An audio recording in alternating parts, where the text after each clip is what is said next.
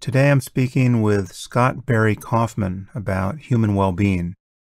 Scott is the author of the book Transcend The New Science of Self Actualization. Scott is a humanistic psychologist who has taught at Columbia University, the University of Pennsylvania, New York University, and elsewhere. He writes the column Beautiful Minds for Scientific American, and he hosts the Psychology Podcast. He's also written for The Atlantic and Harvard Business Review, and his previous books include Ungifted, Wired to Create, Twice Exceptional, which he edited, and he also edited the Cambridge Handbook of Intelligence. Anyway, we cover a lot of ground in this episode. We talk about the difference between intelligence and creativity. We talk about wisdom and transcendence, the history of humanistic psychology, Maslow's hierarchy of needs, the connection between well being and ethics, self esteem, psychedelics and meditation, peak and plateau experiences, mortality salience, the pre trans fallacy, fear of uncertainty, work and meaning, intrinsic versus extrinsic rewards, pathological altruism, intimacy versus belonging, two aspects of self transcendence, and other topics. I now bring you Scott Barry Kaufman.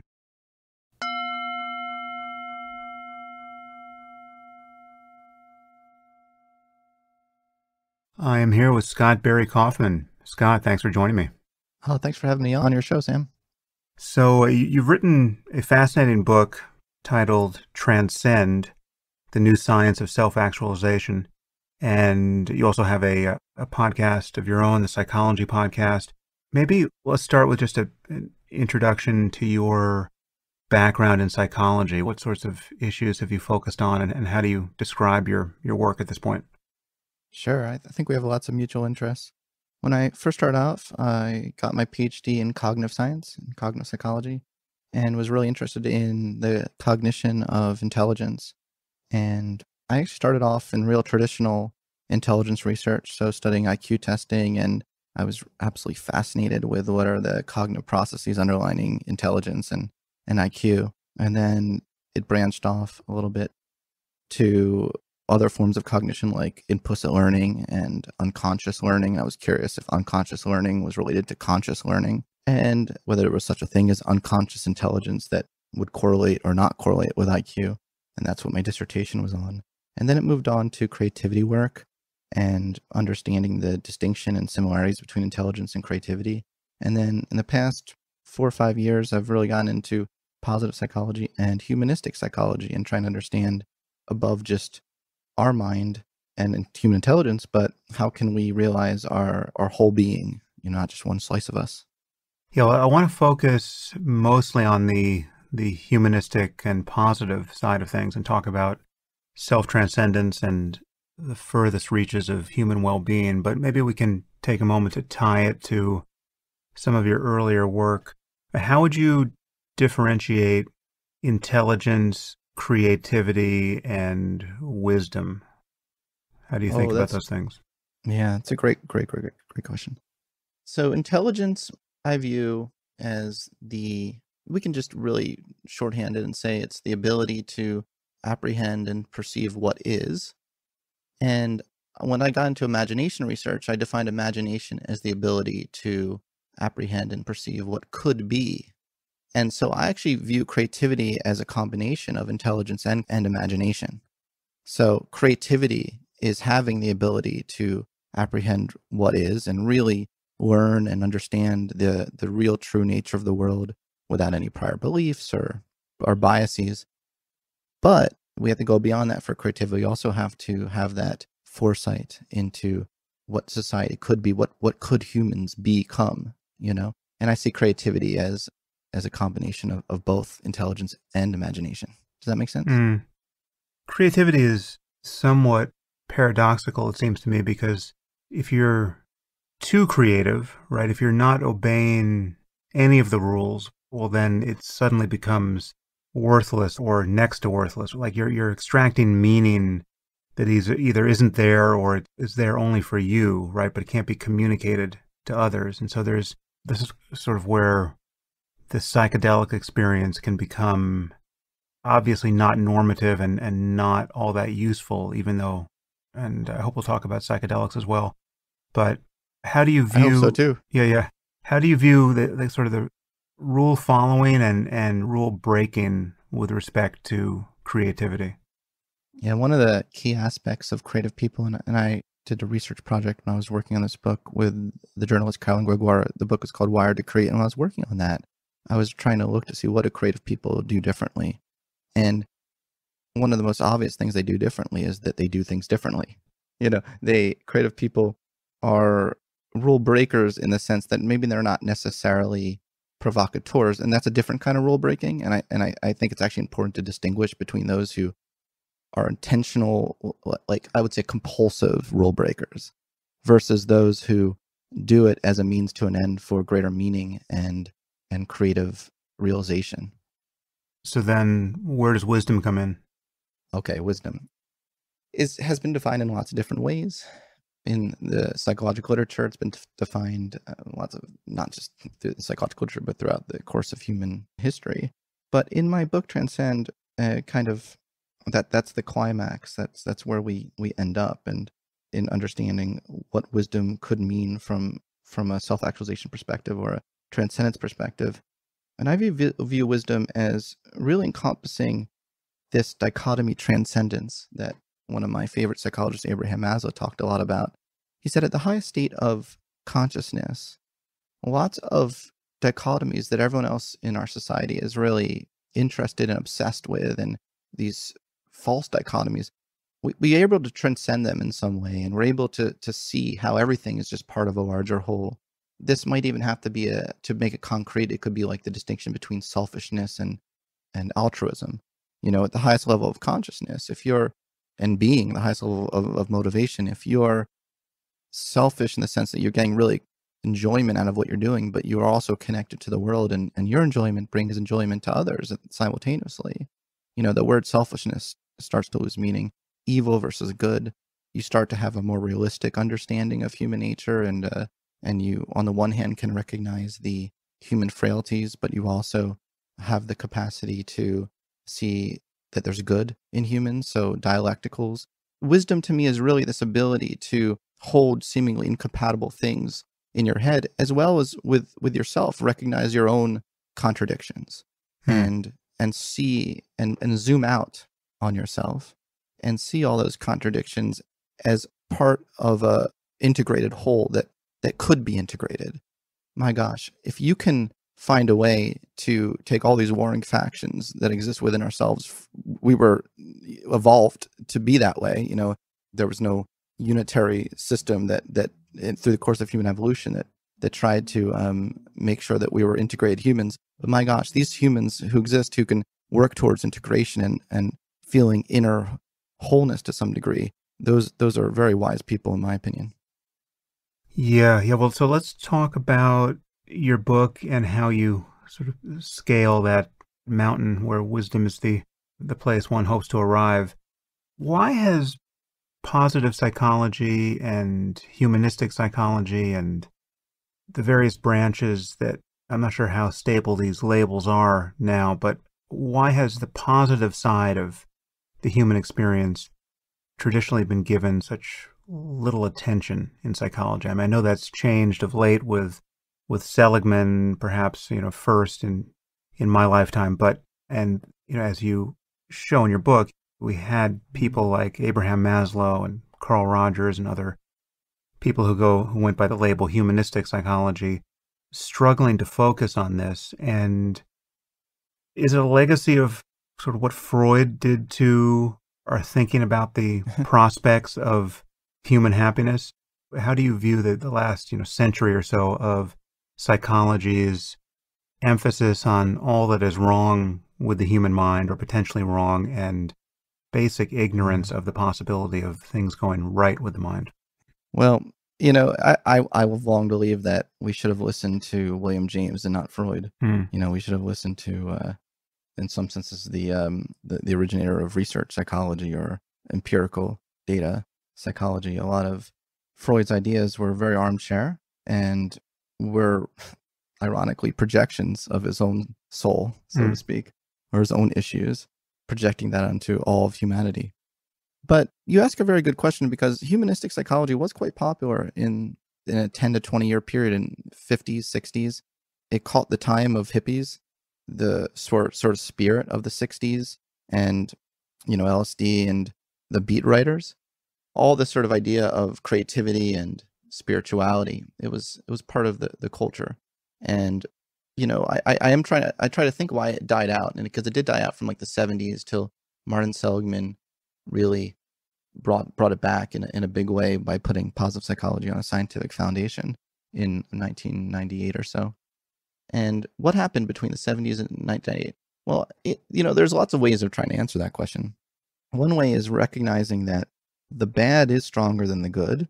We are more focused on when we have deprivations and and there's certainly no shortage of deprivations among humans to to work on depression anxiety these things become more pressing concerns for us when we're in that deprived state if we're feeling satisfied we don't seek a therapist so that we are you know even more satisfied i mean if you mm. go to mm-hmm. a therapist and you say doc i only feel average life satisfaction but i want to be like these pop psychology i want to be you, you find something else. You find a coach maybe, or you find a, you don't go to a therapist for that. You know, not, not clinical psychology, not right psychology. You, you know what I'm saying? So the bad is stronger than good in a lot of ways. And, and it isn't important, you know, a purpose of the field of psychology, the stated mission of the APA and, and what I think psychology should be about is improving human life and, and improving human life. It's, there's, there, like I said, there's no shortage of suffering. So that, that can take up a lot of it. So yeah, I, I don't know the exact answer to that question, but I, I think part of it is connected to the uh, the spirit of the, the, times in the 50s and 60s, mm. and we don't really have that 60s spirit right now, do we? Yeah, well, the 60s died in various ways, and for some reasons that make sense. I mean, there there was a an explosion of dysfunction in addition to all the enthusiasm and insight. There was a fair amount of dysfunction and, and chaos being advertised. And it's just, you know, I'm a big proponent of the wise use of psychedelics, as you probably know, but the haphazard use of them obviously comes with its significant risk. And, you know, that risk was borne out in, in many people's lives. I had another thought, and that's that, you know, they're, they're definitely outside of psychology was there's, there was no lack of the Tony Robbins of the world or, or, or books on how to be your best self, how to realize your potential.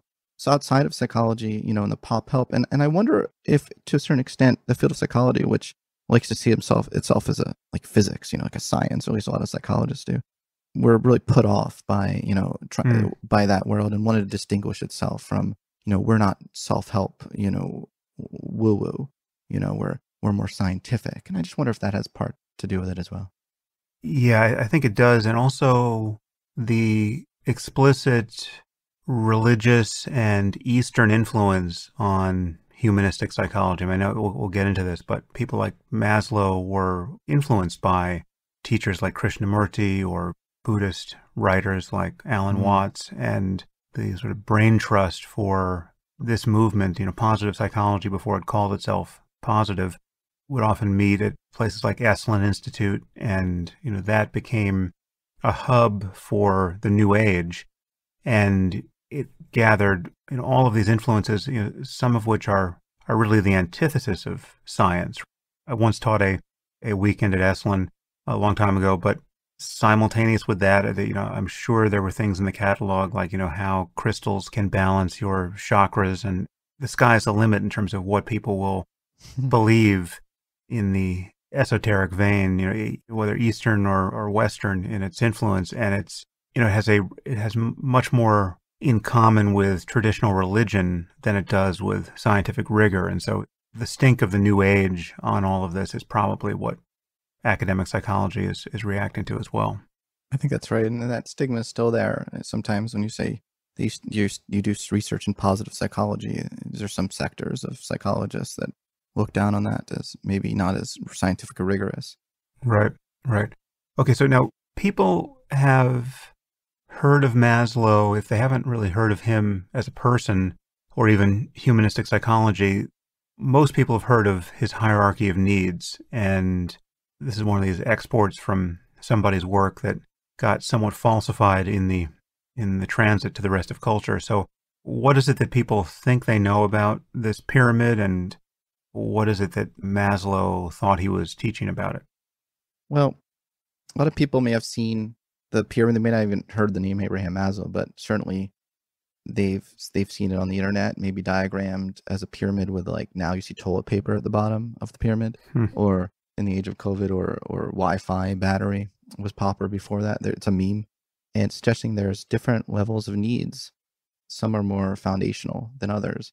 And Maslow's original theory, he never drew a pyramid or in his writings. And I mean, I was looking through the writings. I was like, "Where's the pyramid? Where's mm-hmm. I, I didn't I couldn't find a pyramid." And he was talking about a hierarchy of prepotency. We have some needs that are more prepotent over others. That when they're deprived, they take up more of our attention, and we really focus all of our energy and resources to to satisfying that. So he argued at the at the base, although it's not a pyramid, but our most prepotent need, I should say, is the need, physiological needs like food, shelter, water. And then the next prepotent need is the need for love and belonging, according to Maslow. And then the next the next prepotent need is the need for esteem, esteem from others as well as self-esteem. And then the argument was if we could have these needs, these basic needs met, then we can really be free to self-actualize, to become all that uh, we're uniquely capable of becoming you know, all of those basic needs are things that we share with other animals and we also share with other humans. So it doesn't make you particularly special if you say, I'm lonely, you know, or I'm hungry, or I want respect. Yeah, stand in line. Everyone wants respect, you know. So, but if you start to say something like, I can play a violin concerto like no one else in the world can play a violin concerto, now we're starting to talk about self actualization. You know, what is this unique core potentiality within you that can make the greatest positive impact on the world. And that's what I think he meant by self actualization. That's the original theory. But there was no pyramid. He actually made it very clear that that life wasn't like this kind of video game. He never used that metaphor, but I use that metaphor in the sense that you don't reach one level of need, like the need for belonging, and then some voice from above is like, "Congrats, you've unlocked the need for esteem," and then you can go up a level mm like some, and then you never have to worry about connection ever again. He made it very clear that life is a, always a two step forward, one step back dynamic where we're always choosing growth. We're always trying to choose growth, but but the fear response is always prepotent. You know, fear is always going to loom over us and, and uncertainty, but we have to consciously keep choosing the growth option. He made that very clear. And then it's germane to this idea that we're both interested in with transcendence he argued that the last couple of years of his life that self-actualization wasn't the highest motivation in his hierarchy of needs. That there was a higher motivation. In fact he realized that there were different types of self-actualizing people. This is an insight he wrote in a journal personal journal entry of his that i found. He, he he's like big insight today. I realized that there are actually different types of self-actualizing people. There are self-actualizers who are perfectly perfectly content going their entire lives realizing their own potential. And you know maybe they read all the books how to realize your full potential. They're obsessed with realizing their potential and maximizing their potential. But they really don't care much about maximizing the potential of society or maximizing the potential of others. There's not a great connection between self and others. They may dazzle with their talents and or at work they may be doing good good work and they feel self-actualized but they're not what Maslow called the transcenders. He argued that transcenders were a different kind of self actualizers who were consistently motivated by higher values. He called them the B values, the values of being itself, things where there's no means to an end. They're ends in themselves, like the, the search for beauty, the search for, for justice, for meaningfulness in the world, for goodness. And and and you're motivated by these values, but also you're motivated by peak experiences in life. So these sort of spiritual, I guess you call them transcendent experiences in your life. And, and these transcenders, this is what they, they lived for, is these kinds of experiences and the realization of these kinds of values.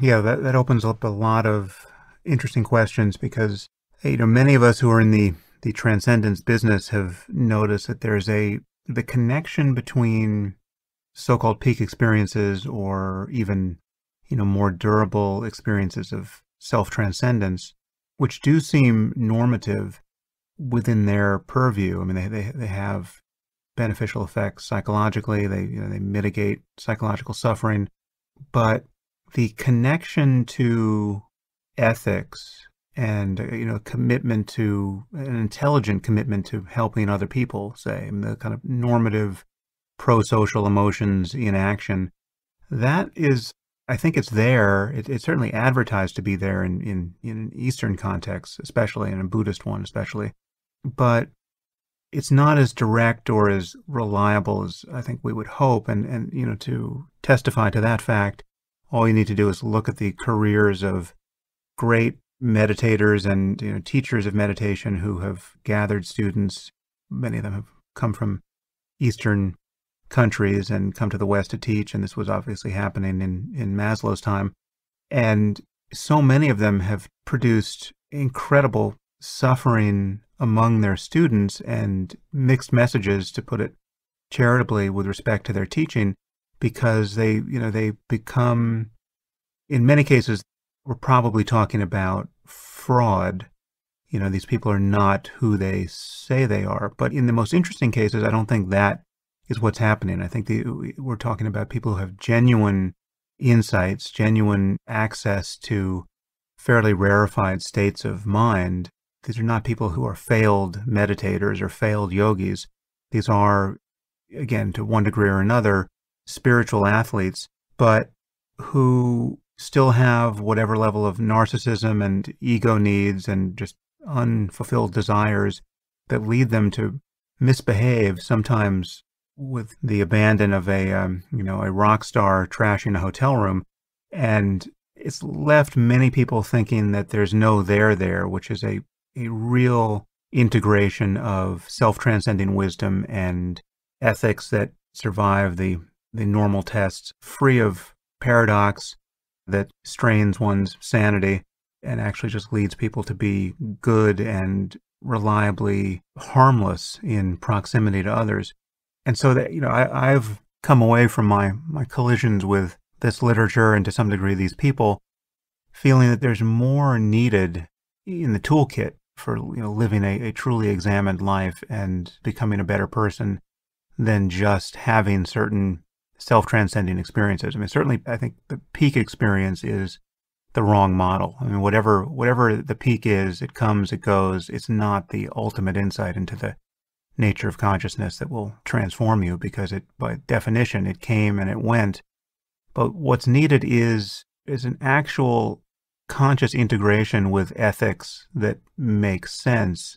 And this is where culture comes in and just the relationship between the individual and society, right? So it's just, yes, it's possible to have real breakthroughs privately in the, in solitude, but when one comes out and interacts with the rest of the world, what one has to do that with are, by definition, one's beliefs, assumptions, you know, one's culture on some level. And, you know, in the Eastern case, you've had many of these people come from effectively theocracies with all of those norms and and have used those norms as a template through which to interact with people and that that hasn't worked out so well so anyway i realize i've dumped a lot on you but i just i guess i'm interested to know what you think about the larger footprint of wisdom and how it relates to things like self-transcendence and peak experience and the general project of becoming a better person yeah there's there's a lot there and i've spent some, a lot of time was when I was writing this book thinking about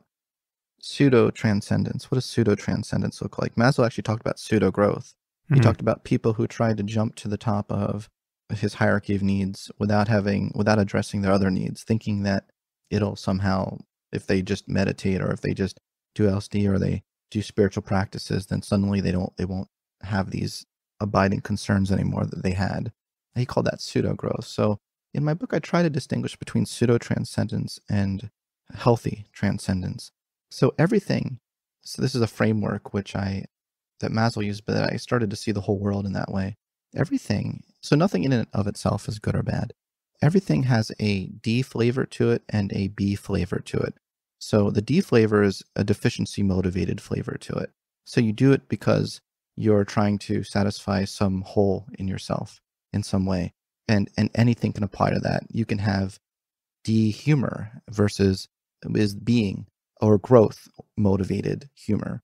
Love, you can have de- or belonging, you can have D belonging where you have a desperate need to belong with others because you severely lack belonging and you're trying to change and control the world in some way or be belonging where you see people for who they are or, or be love love for the being of others not what use they can they, they they exist to satisfy some hole in yourself.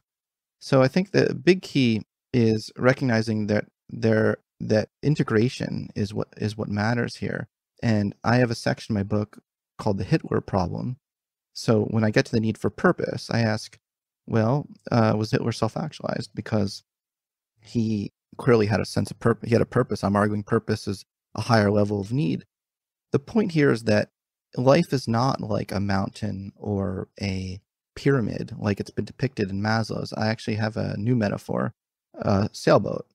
And in a sailboat model, and the reason why I think it works, and I'd love to get your, your thoughts on that, is that it, it clearly shows that you need to have a safe and secure boat. Your basic needs need to be met. There's no holes in the boat, no, no severely deprived aspects of your needs, or else you won't go anywhere. You can't move in your desired direction when all you're focused on is securing the boat. And for the boat, I, I talk about the needs for uh, for safety, the needs for connection, and the need for self-esteem. But once our boat is secure, we can open the sail, and we open the sail and and face the vulnerability and and the unknown of the sea. We move with purpose and direction with that sail, but we move with integration of the spirit of exploration, not fear, and love, universal love, or what Maslow called be love, love for the being of others. It's moving in that purposeful direction, but with an integration of these other things. So the, the whole point here is that we operate as a, as a whole vehicle, experiencing the unknown of the sea, even though we each move in our own direction with our own purpose. There can be a great unknown, a uh, great wave can come crashing down on all the boats at once. And then suddenly we were all moving our own direction. And now we realize, wait a minute, we're all actually in the same sea together. So I, I think this metaphor works in a number of ways better than the static pyramid. And also the pyramid doesn't show that the, the point here of wisdom is is the integration aspect. So people who appear as though they're trans or will tell you because they're gurus or that you know that I'm a transcendent being, you know, and they then they go abuse people in there or do whatever whatever they whatever you know you see, you see all these atrocities from people who say they're enlightened. Not all of course but you you, you know the kinds you point you point out. I would argue that they're pseudo transcending they have built their spiritual practices on a very faulty foundation they they still have unresolved deeply unresolved belonging needs or deeply unresolved safety needs or esteem needs. You know, they they they desperately need esteem, and so it's built on a very faulty foundation. So that's why I think that this healthy transcendence model I, I talk about in the book, I specifically define as healthy transcendence is defined as the harmonious integration of the whole self in the service of realizing the good society. That's how I define healthy transcendence to make clear that it's the connection between self and world, not being above the world in some way, my conceptualization of transcendence might differ from other people's notions of transcendence, but I wanted to make it very clear that it wasn't a horizontal thing. It's not like we're transcending other people in some sense. It, it, it's actually quite the opposite. Healthy transcendence is when we have this great unity with the world.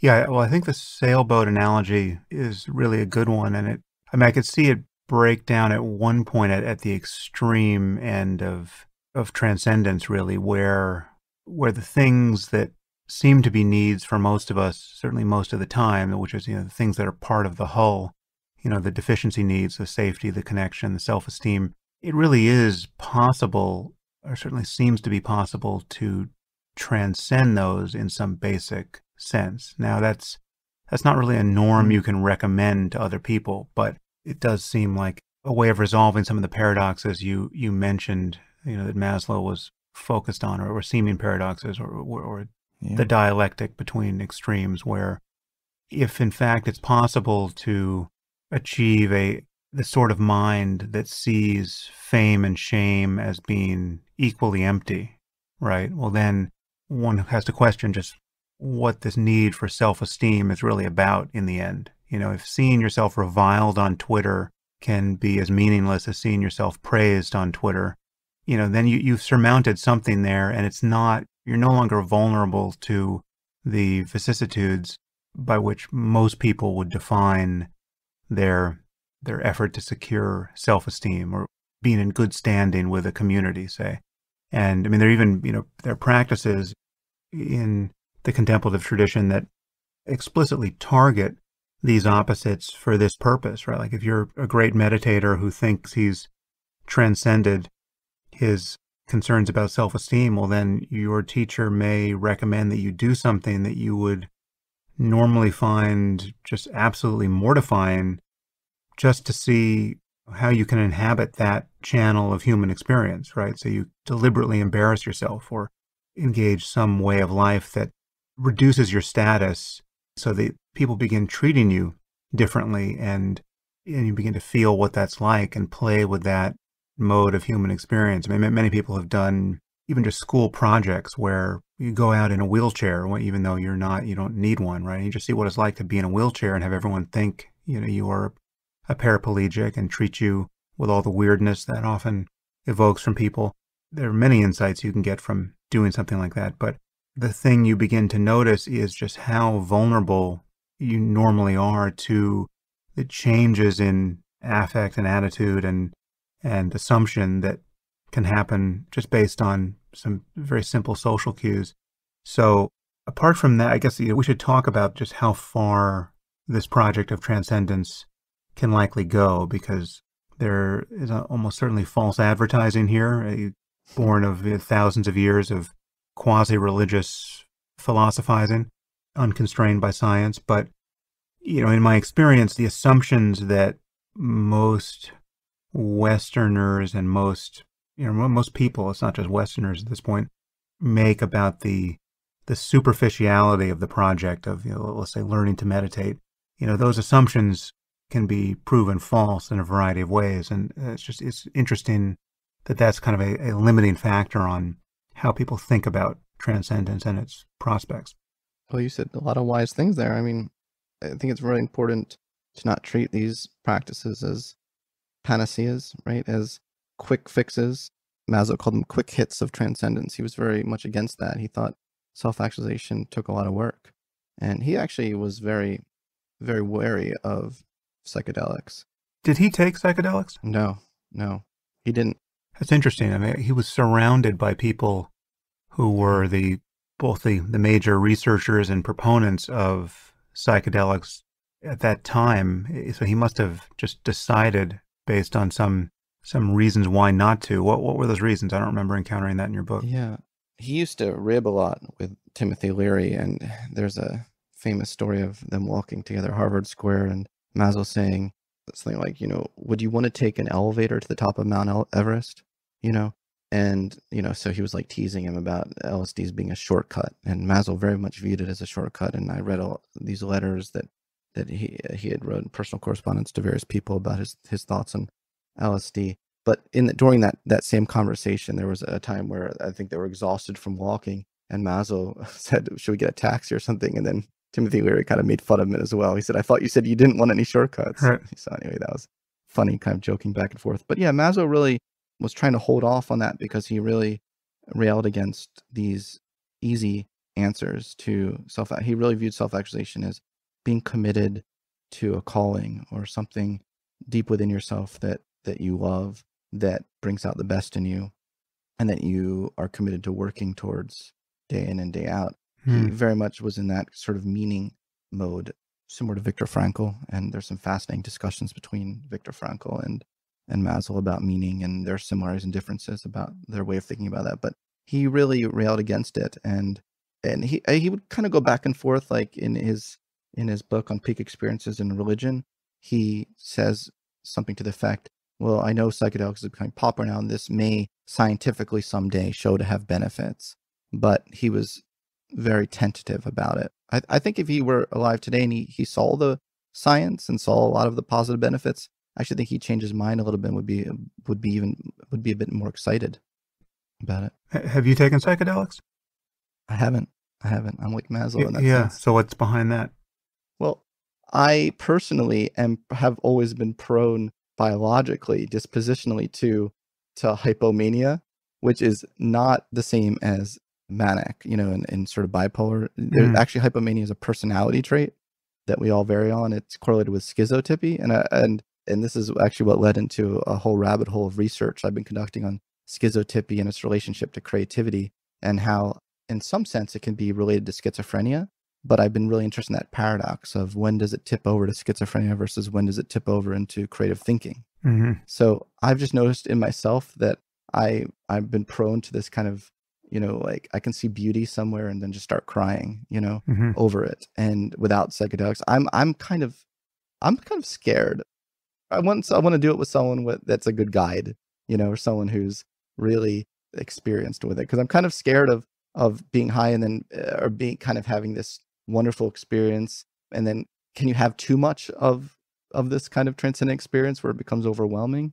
Can you tell me? Yeah. Oh, yeah. We, you, you certainly can. And I think being, I don't know much about hypomania, but I can imagine just wanting to be cautious if you feel like there's something that, if you have a concern that you could be destabilized in some way that wouldn't be healthy.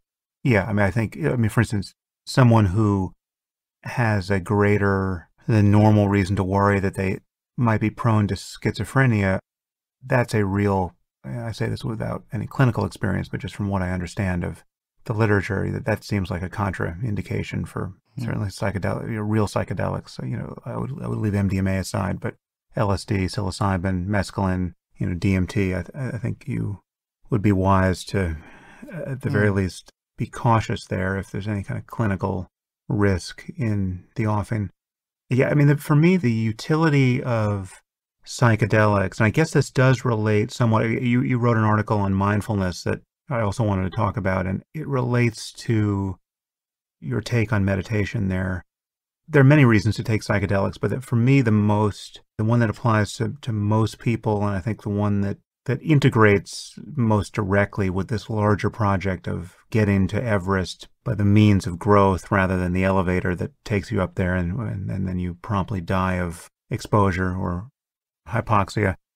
It's that without having had certain experiences, you really have no sense of how limited your normal experience is. This is in terms of affect and cognition and the ethical implications of both. I mean, it's just you have no, you just don't know what, how confined the prison of your mind is, or even that it is a prison until you've, one of the walls has been broken down for you and you've seen some vast horizon that you didn't even imagine existed, or, or even if you did, even if you paid lip service to the possibility, you just didn't know what it would be like to confront it. And I mean, I guess the analogy that works for me is to, I mean, to think of mental training and meditation as a species of that, somewhat analogous to physical training. And and you know, physical training is obviously something we it's a thing. We we know it's uncontroversial that you can get stronger and more flexible and improve your balance. And I mean you can become an Olympic gymnast, right? And so everyone who begins working out does it in a context that they know that, that while they may not become an Olympic gymnast, they know just how far this can be taken. You know, when you're just struggling to touch your toes or do one pull up or one push up because you've been sedentary for the last 10 years, you know that extraordinary transformations of the body are possible. And then the question is just how far are you going to take this? How dissatisfied are you going to be with your inability to do much of anything? And how inspired are you going to be by, you know, watching the Olympics or, you know, seeing pictures of people who have completely transformed their bodies? And the problem with with the contemplative life and meditation and other tools is that the changes are for the most part invisible. It's not that they don't have emotional correlates and therefore behavioral ones and and that's why the rampages of various gurus seem to be disqualifying of the whole project. But for the most part, this is an, an inner landscape and therefore a hidden one. And therefore, all we have is the testimony of people to say how far this landscape actually goes. And so you can't see the gold medal floor exercise at the Olympics to prove beyond any possibility of doubt that it is possible to take the project of becoming stronger and more flexible and getting greater balance and all that. I mean, you can take it to a, a level of perfection that you wouldn't otherwise be able to imagine, right? And so with psychedelics, it's a little bit like suddenly being dropped into the gold medal routine of the floor exercise, modulo a few ways this analogy breaks down. I mean, it's not that everything you can experience on psychedelics is normative or, you know, worth getting by some other route. I mean, you can experience things that are terrifying and, and clearly not normative. But if you if you hit the sweet spot on LSD or psilocybin or you know MDMA again, not not a classic psychedelic, but it shows you a different room in, in the mansion of understanding. If you hit any of those sweet spots that do in, their within their purview seem normative, if you experience something like unconditional love on MDMA, or you experience self-transcending unity with nature, we'll say on psilocybin, it is like you know experiencing physical perfection you know, of a sort that, you know, only the most highly trained athlete would ever touch. And you're just dropped into it. And then you, then you lose it again. You come down, but you realize, okay, that's possible. Even though you can forget it on a, you know, day by day basis, you have seen something that you, you know, there's a there there. And then the question is, what are you going to do about it? And then, then meditation, if you take it up as a practice, can be practiced in the context of knowing that this is not a false project, right? Just knowing that it's when someone says they've had this kind of experience, you know from within that this is a, an actual potential of the human mind, you know, and th- therefore the human brain. And there's no reason why it couldn't be a potential of yours given the right changes. So that's the virtue is in, again, it's not the only virtue, but for me, the primary virtue is, is almost rhetorical it's the only thing that would have convinced a skeptic like me that there was a path to go anywhere, really. You know, that's its utility. Again, there we could talk about other things that it does for people, but for me, it, it is the, the perfect rejoinder to the otherwise necessary skepticism, which is, you know, because again, we're surrounded on all sides by bullshit, you know, things that are clearly bullshit. And it's hard to find the diamond in the bag of glass. And yeah, psychedelics can help you distinguish the two. Yeah, there's a lot there, and I really enjoy listening to your experiences. I enjoy listening to other people's experiences. We often we can intellectualize this stuff as much as we want, but until we actually experience it, we sometimes don't fully understand something to be the case. And I'm really impressed with the scientific research that's coming out on showing that psychedelics in combination with spiritual practices show the greatest mm-hmm. effects like meditation, but also prayer. There's some new studies, large scale studies, that show that the combination is better than either alone. And so the more you can integrate those psychedelic experiences into the rest of your life, the more uh, productive it'll be. But, you know, what's interesting to me though is that there's lots of different routes to this this certain transcendent state of being. There's lots of different routes. I'm wondering, is psychedelics is, that do, do you think there's nothing else practices that can take us to that same to those same insights what are your thoughts on that it depends which insights and experiences you're talking about i mean it's really it's a venn diagram for me which in certain cases barely overlaps between what is you know, the real purpose of meditation or the kinds of experiences people can have in meditation and really the essence of it. I mean, the real utility of it and the, the kinds of experiences people can have on psychedelics. The way I distinguish them is that there's consciousness and its contents and almost any attempt, you know, successful or otherwise to change experience is a matter of changing the contents of consciousness. That is really the goal and you know whether it's thought about in those terms or not and that is the effect. And you know by definition all of these changes are temporary you know so you can have a peak experience through taking psychedelics. You can have a peak experience through you know going on a meditation retreat and meditating for 14 hours a day for a month. And these kinds of experiences can be pretty similar. The difference with psychedelics is you're guaranteed to have a radical change in the contents of your consciousness. and it's guaranteed to happen more or less within the hour, right? So it's like if someone gives you an effective dose of LSD or psilocybin, there's no question something's going to happen. Right now, it may be a terrifying something, but if nothing else, it will prove to you that experience is a highly plastic thing and it is possible to inhabit states of consciousness that you never dreamed were possible a mere hour ago. And again, you can get there with meditation and you can get there in a much more orderly way without the downside. I mean, some people can go crazy on a meditation retreat as well. So, you know, it's not that there's no risk, but it's not the same kind of spin of the roulette wheel where you're, you're really not sure what you're going to get until you get it. All your attempts to control set and setting notwithstanding. So it is more orderly and it can go into very rarefied terrain.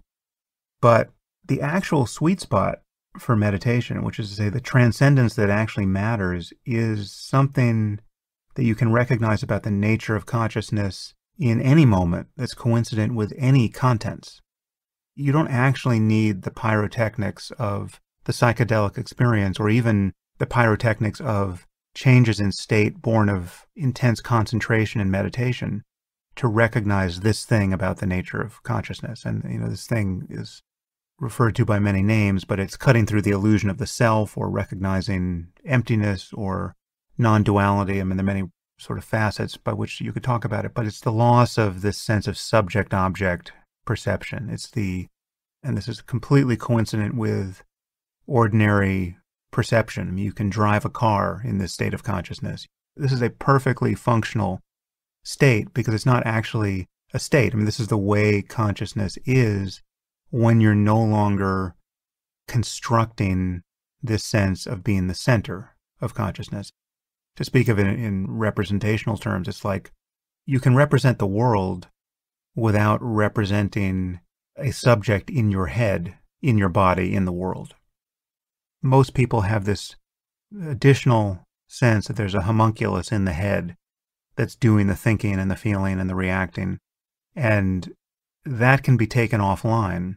And how that relates to neurophysiology or what the default mode network is doing, I mean, that's an open question. But you know, based on the current literature, it seems like it's probably at least part of what the default mode network is doing, in addition to just producing mind wandering or daydreaming or just random thinking. There's a strain of thinking that is explicitly self-referential and and again, I don't know if this has actually been studied, but more than just self-referential thought, there's the the difference between noticing thought as an appearance in consciousness among all the other appearances and being identified with thought, which is to say thinking without knowing that you're thinking. And that's the subtlest entanglement with thought, which does give this feeling of subject in the head, being the thinker. And so meditation can break that spell, and breaking that identification leaves everything else untouched. Now, it is in fact true that the more you do that, and the longer those moments of true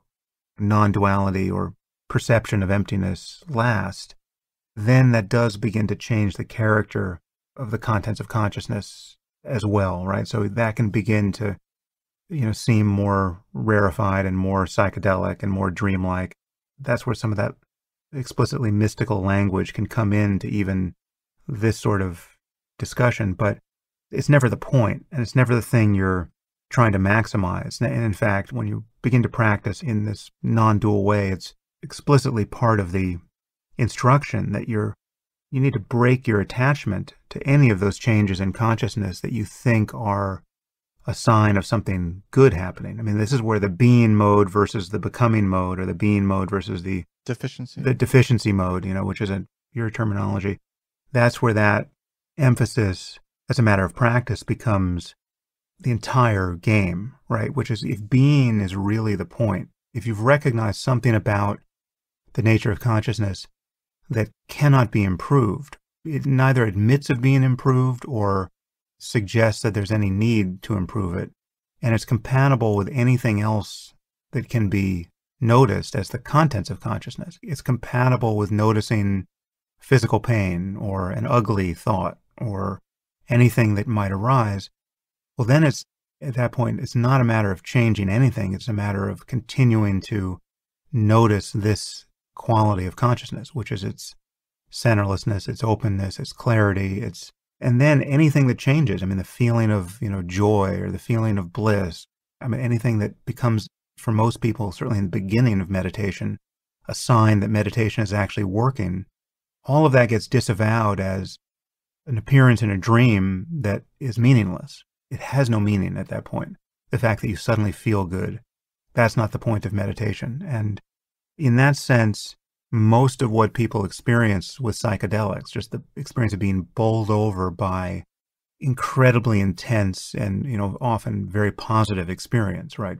Bliss and seeing colors of a sort, you know, colors in the natural world that you never imagined possible and a feeling that the energy of your body is inseparable from the energy of the world and, you know, the energetics of all of that whatever the knob is in the brain that, you know, somewhere near the nucleus accumbens that you can grab and turn up to 11 well, then it, it got turned up to 12 there. And none of that is ultimately the point, right? None of that can be the point. And yet, it, again, it's the thing that if you've never experienced it, you know, you're someone who just can't imagine how different a human experience can be. And that lack of imagination becomes the reason why you are satisfied with Netflix and not hating your life. You get up each day and merely repeat that project. I, I don't know if that answered your question, but it gets somewhat paradoxical in, in terms of trying to equate what the project is from the point of view of meditation and the utility of psychedelics. Yeah, it, it was really elucidating. I really appreciated that. I'm trying to square that away from way with something you said earlier about you kind of were pushing back against trans when I said transcenders, they live for peak experiences. You were kind of doubtful or criticizing that's a that's a worthy project. You noted how peak experiences were so ephemeral, mm. and yet now you're talking about you're advocating for these kind of LSD type experiences that are ephemeral. Only insofar as they can get you to be sufficiently interested in something deeper than what you're tending to experience by the happenstance of your own conditioning, right? So, like, we've all been conditioned by culture, to think certain things are possible and to hope for certain outcomes in our lives. And we're continually having various states of consciousness advertised to us as desirable and take the hull of the boat that we're we're trying to shore up. You know, we you know, we we all have various self-esteem needs, say, and needs for belonging and and connection and then the fulfillment of those needs get advertised to us and modulated by culture. So like what does self-esteem mean now? Well, it means something different than in, you know, the 1980s before anyone had even heard of social media, you know, or imagined that such a thing was possible. Now it means something online and we're all trying to navigate the consequences of that. So I would say that the role of a, a peak experience, which again, by definition is going to come and go, like every experience, is is to convince you that there's that there's more to the landscape of mind than you may have assumed, and which you're tacitly assuming by prioritizing the way you're you're spending your time and attention in the way that you are. Right? I mean, like if you might not think that you you have you know bounded the horizon of your aspirations so narrowly, but if you're spending more or less every moment of your life just trying to come out on the winning side of a skirmish on Twitter and eke out a few more publications and earn 50% more money than you did last year, right? Like if that is taking up 90% of a person's bandwidth, well, you know, embedded in that use of energy and attention are certain assumptions about what will be ultimately satisfying. And, you know, it's a very common experience to arrive at the fulfillment of all of that. You know, you make a little more money, you publish a little more, your snark lands appropriately on Twitter to the jubilation of your growing fan base. And yet, on some level, the, the itch you were trying to scratch doesn't get finally and, and fully scratched.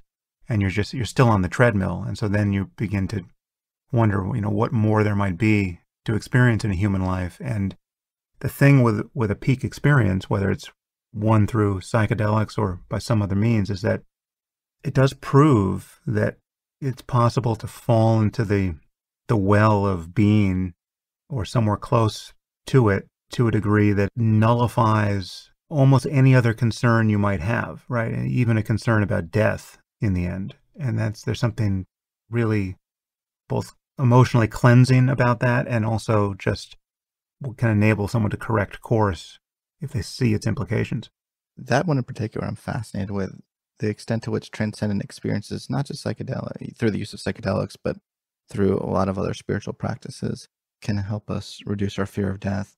You know, there's a twist ending to my book, and it's not all about the peak experiences. What Maslow realized towards the end of his life is that really life is about the plateau experiences. Yeah. And that's not a phrase that's used often when people talk about Maslow, they may talk about peak experiences, but his great insight, perhaps his greatest insight, was the, just the past couple years of his life when he was facing his own mortality.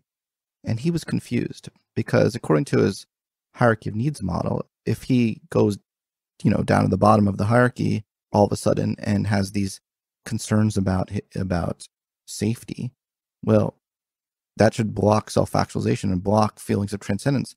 But he wrote in his in his personal diaries, how can it be that this experience is giving me a greater appreciation of my life and I'm feeling these transcendent experiences more than I ever have in my entire life. And and, and it took me facing this mortality to get there. Mm. So that hmm. was confusing to him. That was a par- that was very paradoxical to him.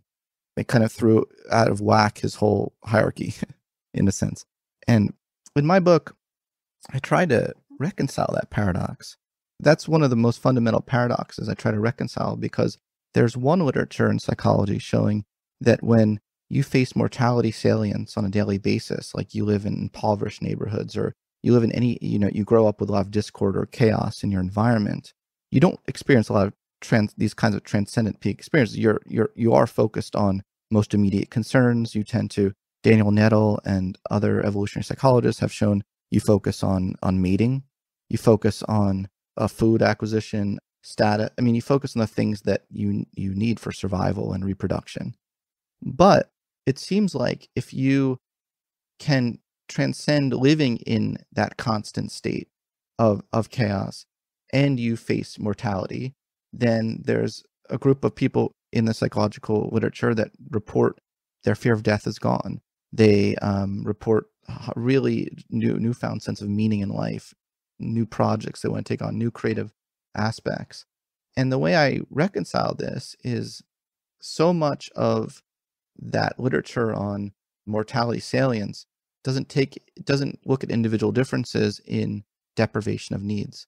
So I think there is a great value in in transcending your your need for your basic needs. So transcending your incessant need for esteem, self esteem, transcending your hmm. incessant mm. need for connection with only the people that you feel a connection to, as opposed to a connection to all of humanity. You can transcend, and, and this is a big one because obviously some people don't have a choice in the matter if they're born in certain neighborhoods or environments where there's a lot of violence and chaos in their environment. It's you know better, it's easier said than done to just transcend it. But if you can transcend it, so these basic needs are not you're not preoccupied with them anymore. The research I've seen shows that that mortality salience under that state of consciousness actually gives you the heightened most heightened states of transcendence that a person could possibly have. So this was a big sort of paradox I was trying to reconcile with these two dueling literatures. You know, on the one hand, mortality salience leading to uh, momentary concerns of survival and reproduction, and then this other literature in positive psychology showing that mortality salience can lead to greater meaning and post traumatic growth. I guess almost everything we're talking about is susceptible to this dual, you know, it's almost the pre trans distinction that Ken Wilber made.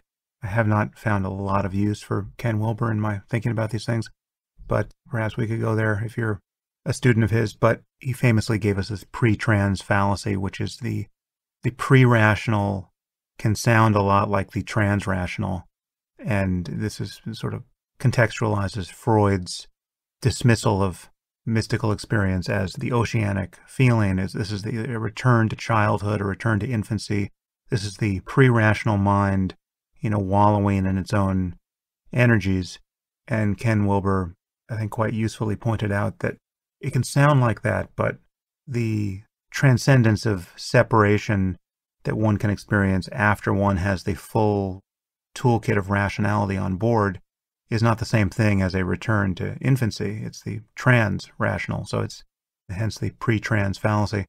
But yeah, many of these points, like when you think about this is somewhere near the hull of the, the boat, the feeling of like a self efficacy that you can do things well and that you can master various challenges and you know you're the antithesis of the the learned helplessness that coincides with a kind of depression.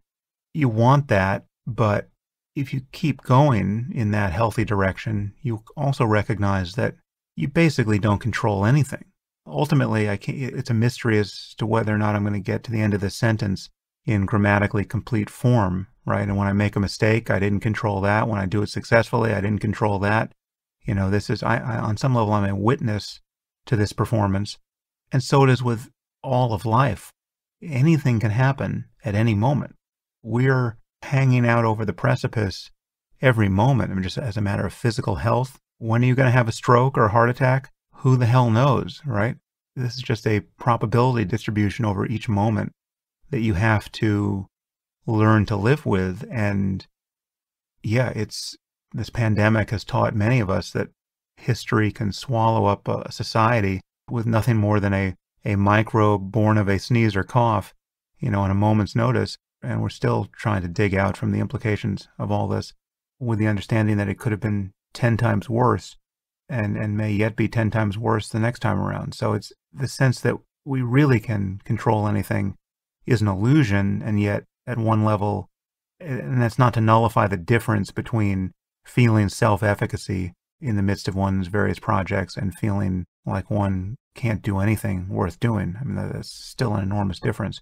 You know, I don't know if I've resolved that paradox, but it's, I think it's the degree of focus, kind of the wide angle or the, the microscopic focus.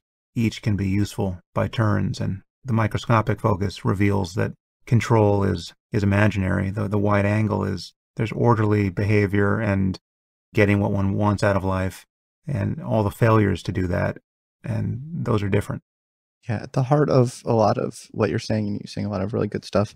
At the heart of a lot of it is the fear of uncertainty. This is this is just cuts through it all. You can live your life with a fear of uncertainty, and the and the greater and in sort of a linear way, the greater the fear, the more we go into this state. Psychologists have identified psychological entropy, where we at the ultimate extreme, we, we just can't cope and we get depression. We feel helpless, as you mentioned.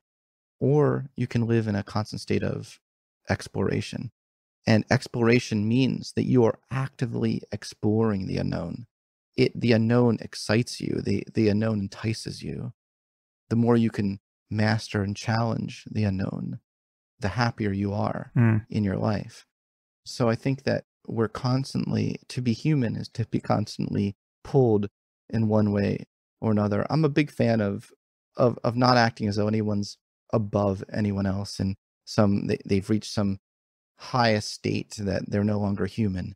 To me, to become fully human is recognizing that you have these tendencies within you and you have to constantly choose the exploration option and and learn how to manage the uncertainty that's inevitable in your lives. You you're right you're so right in the sense that this moment puts a lot of things in context for people. You know it's funny to, not funny it's it's tragic but you hear people talking about as though it just dawned on them for the first time in their lives that there's uncertainty in their lives you know? For some people maybe this is the first time they've they've really thought about that you know? But you you could remind them of all the many other things that they've had throughout their lives before this moment that were incredibly uncertain and could have led to a lot of danger and people still made decisions and people still did certain things. This is kind of like because it's on the news you know we're all so focused on this being the uh, great uncertainty when we could create a news program with 40 million other forms of uncertainty that you have during the course of your day i you know i say i bet you didn't know about this could happen to you today too you know? So i think just the heart of a lot of what you're saying is living a life of are you going to live that life with a spirit of exploration and openness to new experiences and curiosity for the unknown? Or are you committed to to fearing it and and having that illusion of control? Because obviously you know and, and alan watts wrote so beautifully about this we the only certainty is that there's uncertainty yeah i mean more and more i'm becoming interested in the way in which a person's individual experience you know positive or negative is an unreliable guide to what it takes to make the world a better place. The thing many of us have noticed is that people are reliably horrified or you know most exercised by things that are not not really the gravest concerns or the gravest injustices or the the worst outcomes that are on offer in this world.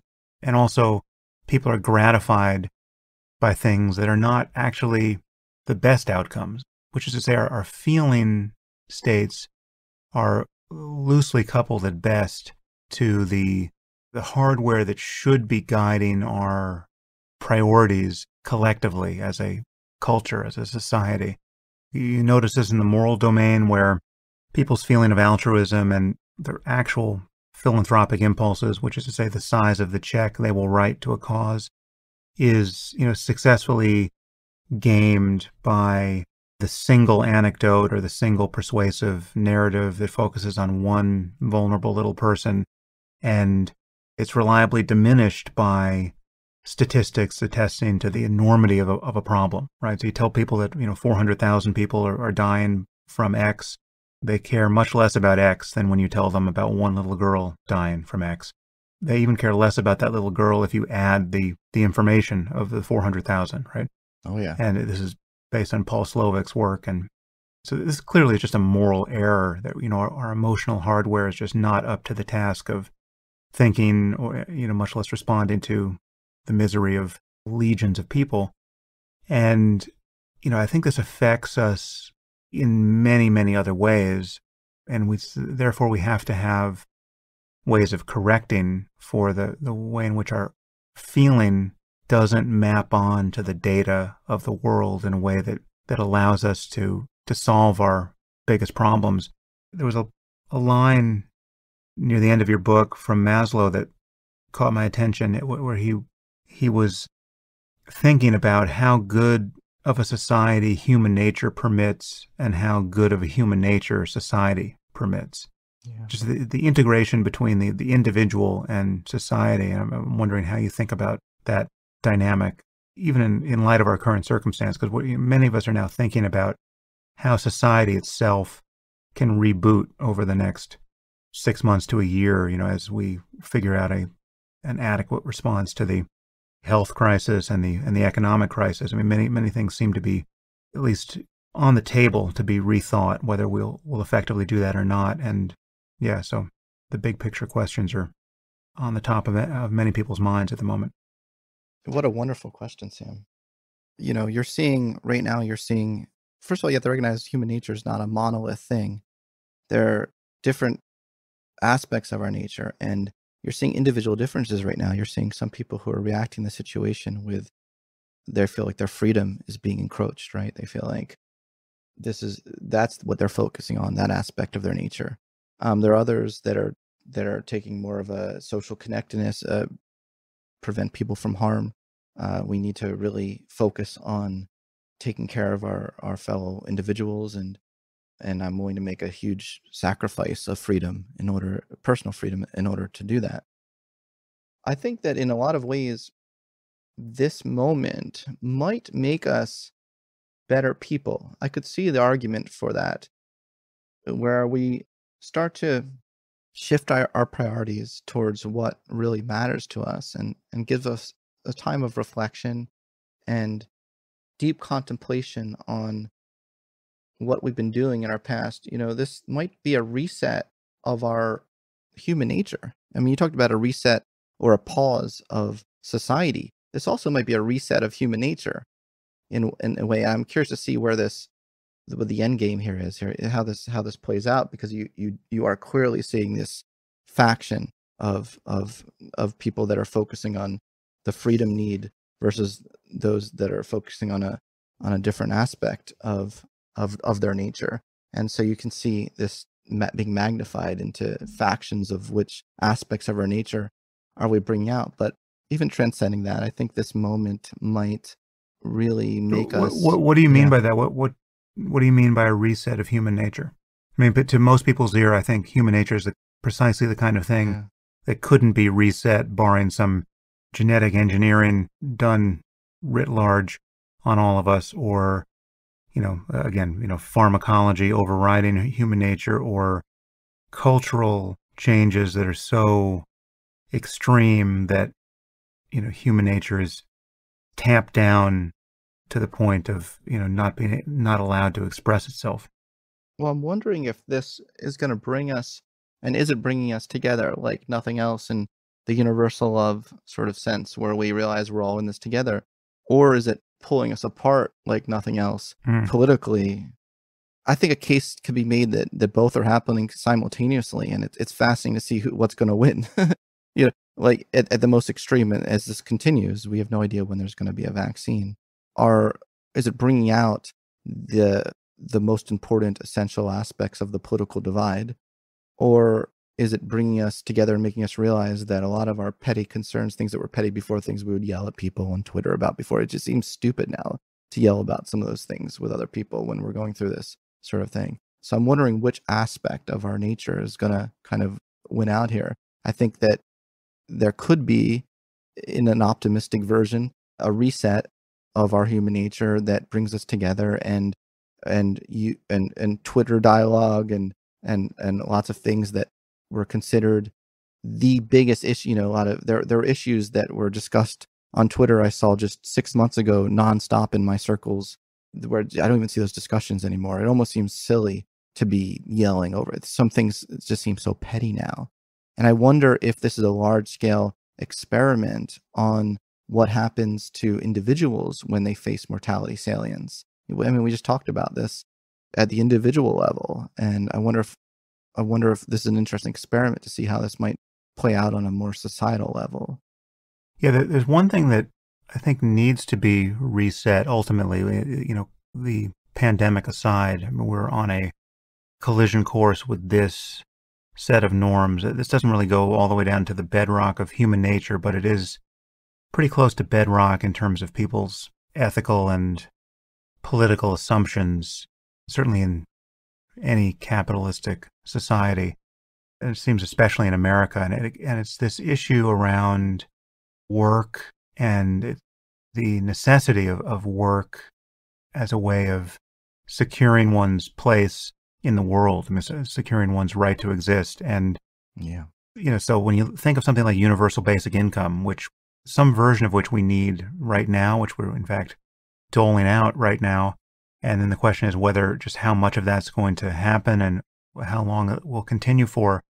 But, you know, many of us have been talking about this for now some years that when you extrapolate the consequences of automation and artificial intelligence, you know, in the the set of good outcomes, right? Forget about the dystopian ones, but the good outcomes entail an ability to produce wealth of a sort that really has never been imagined before. And commensurate with that, the cancellation of the need for many forms of human labor. I mean, eh, eh, more or less all human drudgery, but even you know much labor that is considered very creative, you know, high cognitive value work, right? So yeah. it might be that we'll, you know, we'll build artificial intelligence that does a lot of our science for us and all of our software engineering for us. And then the question is, you know, what are humans good for when the machines do all of or most of the necessary work? Clearly, the current ethic, which again is it seems to be more or less in everyone's source code in America, that assumes that you have to find something to do in the world that other people want to pay you for. Otherwise, you really have no claim on existence. That's what adulthood requires. That doesn't make any sense in a world of functionally infinite abundance, right? And because you shouldn't have to do anything that someone is going to pay you for if money is falling out of the sky. And so then the question is, what is human life for at that point? Now, most people are not inclined to imagine us ever getting there. I mean, it sounds like utopia, but it's a failure to imagine that end game, which is really uh, it's the only only one I can imagine when when you imagine everything succeeding, you know, technologically for us.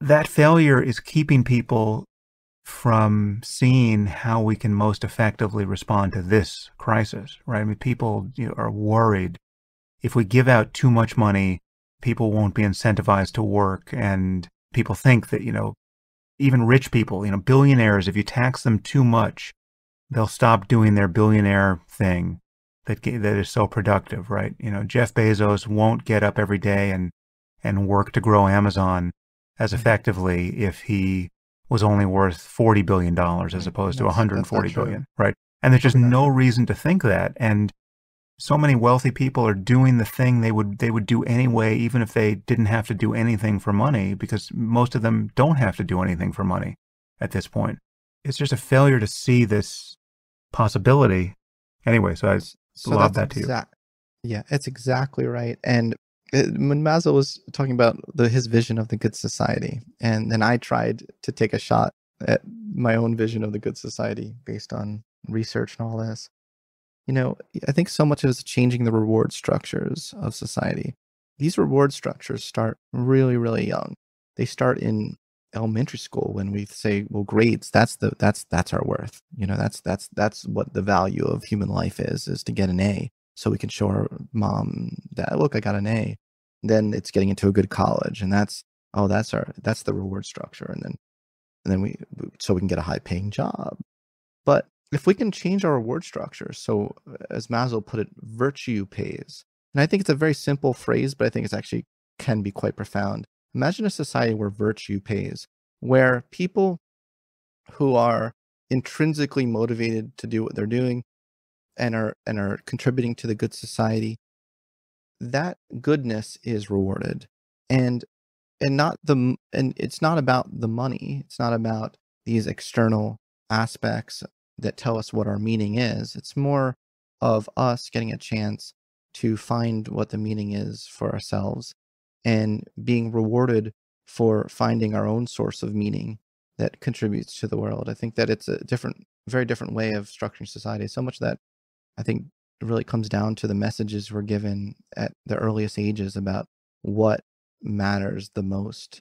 And it starts in school, and, and I um, that's a whole other rabbit hole. I, you probably don't have the time we don't have the time to go down but my work in education and uh, reimagining education and, and and what that could look like mm.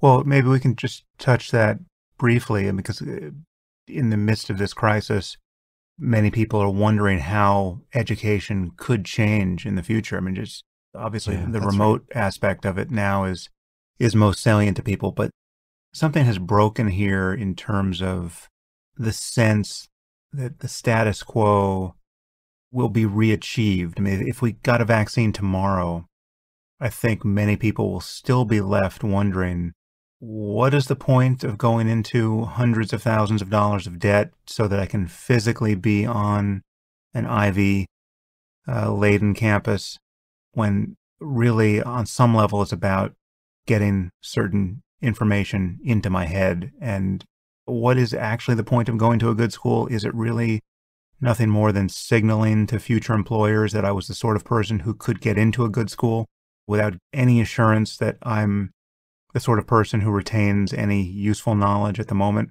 What if I came by that knowledge by some other route?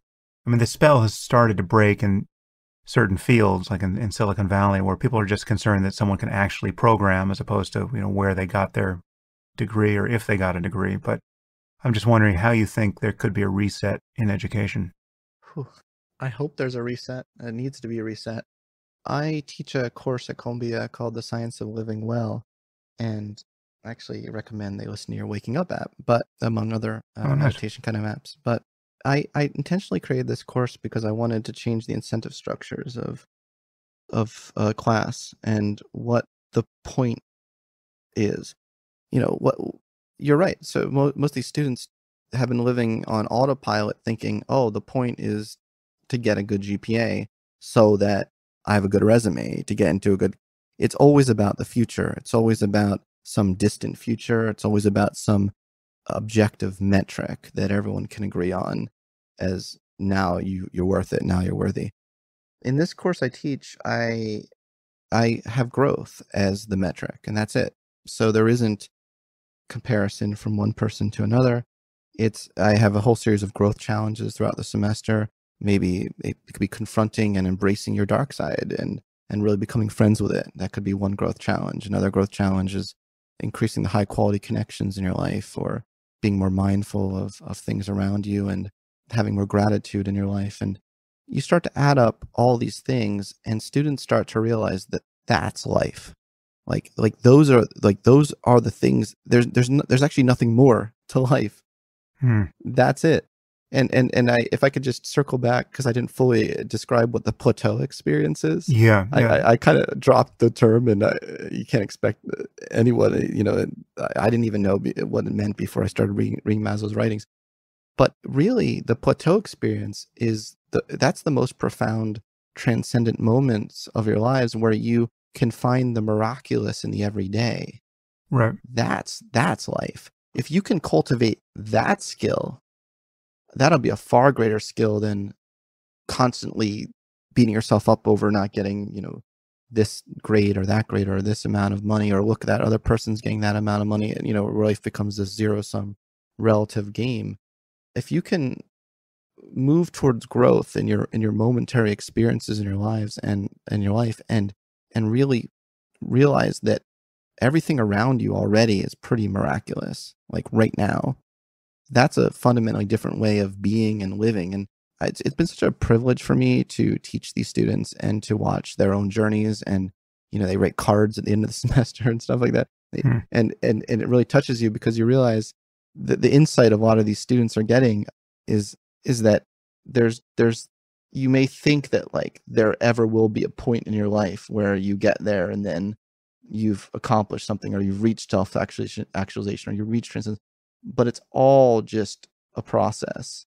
It's all just the your interaction between your the relational interaction between the experience of you and the world and and that happens in a momentary momentary basis. And there's just so many things we can do right now uh, without waiting without waiting for that paycheck or waiting for the next job that can give us meaning and infuse and breathe deep meaning into our lives. Because i think a lot of what you're asking is it's such a profound question and and you know how are people going to find meaning if they're not getting paid for it, it, it there's a level of thinking where that question doesn't even make sense anymore right Yeah.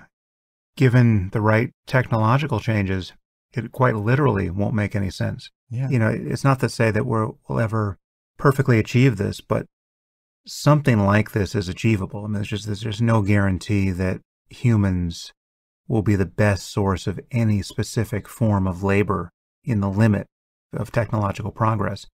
And if we could just be handed that progress tomorrow, you know, if God could just hand us the perfect labor saving device that could do any work human beings are inclined to do, but better, you know, it plays chess better, uh, as your phone already does. It calculates better, as your phone already does, and it does everything else better. Well, then, in our current environment, that would precipitate a political and economic cataclysm. We don't have the politics and the economics that could assimilate that kind of wealth creation because it, you know, it would currently accrue to the team at Google that had the breakthrough that gave us this technology, and then you know they would all be trillionaires, and we would be watching the wave of unemployment spread through society from their bunkers. And we need a new ethic by which we would see the necessity of spreading that wealth around quickly enough so that everyone would benefit. And again, not to say we're going to hit the asymptote there, but if we play our cards right, things will get better and better in that direction. So clearly the burden is on us to figure out how to spread the wealth around and to reconceive of what it means to be a productive member of society and how people get the self-esteem needs and the and the belonging needs and the connection needs met in a context of those new norms right where so when someone says oh so what are you doing with your life now the the self-esteem module in the in the average, you know, Ivy League brain, you know, it returns the string, "Oh, I'm I'm a, a junior at Harvard," and that's that's answer enough. That's the perfect answer. And then a few years later, it'll be, you know, I just got a job at Goldman Sachs or whatever, at Google, and that's the perfect answer. But at a certain point, that answer is isn't enough, and people can recognize it isn't enough even now when they when they take a an inventory of their moment to moment experience.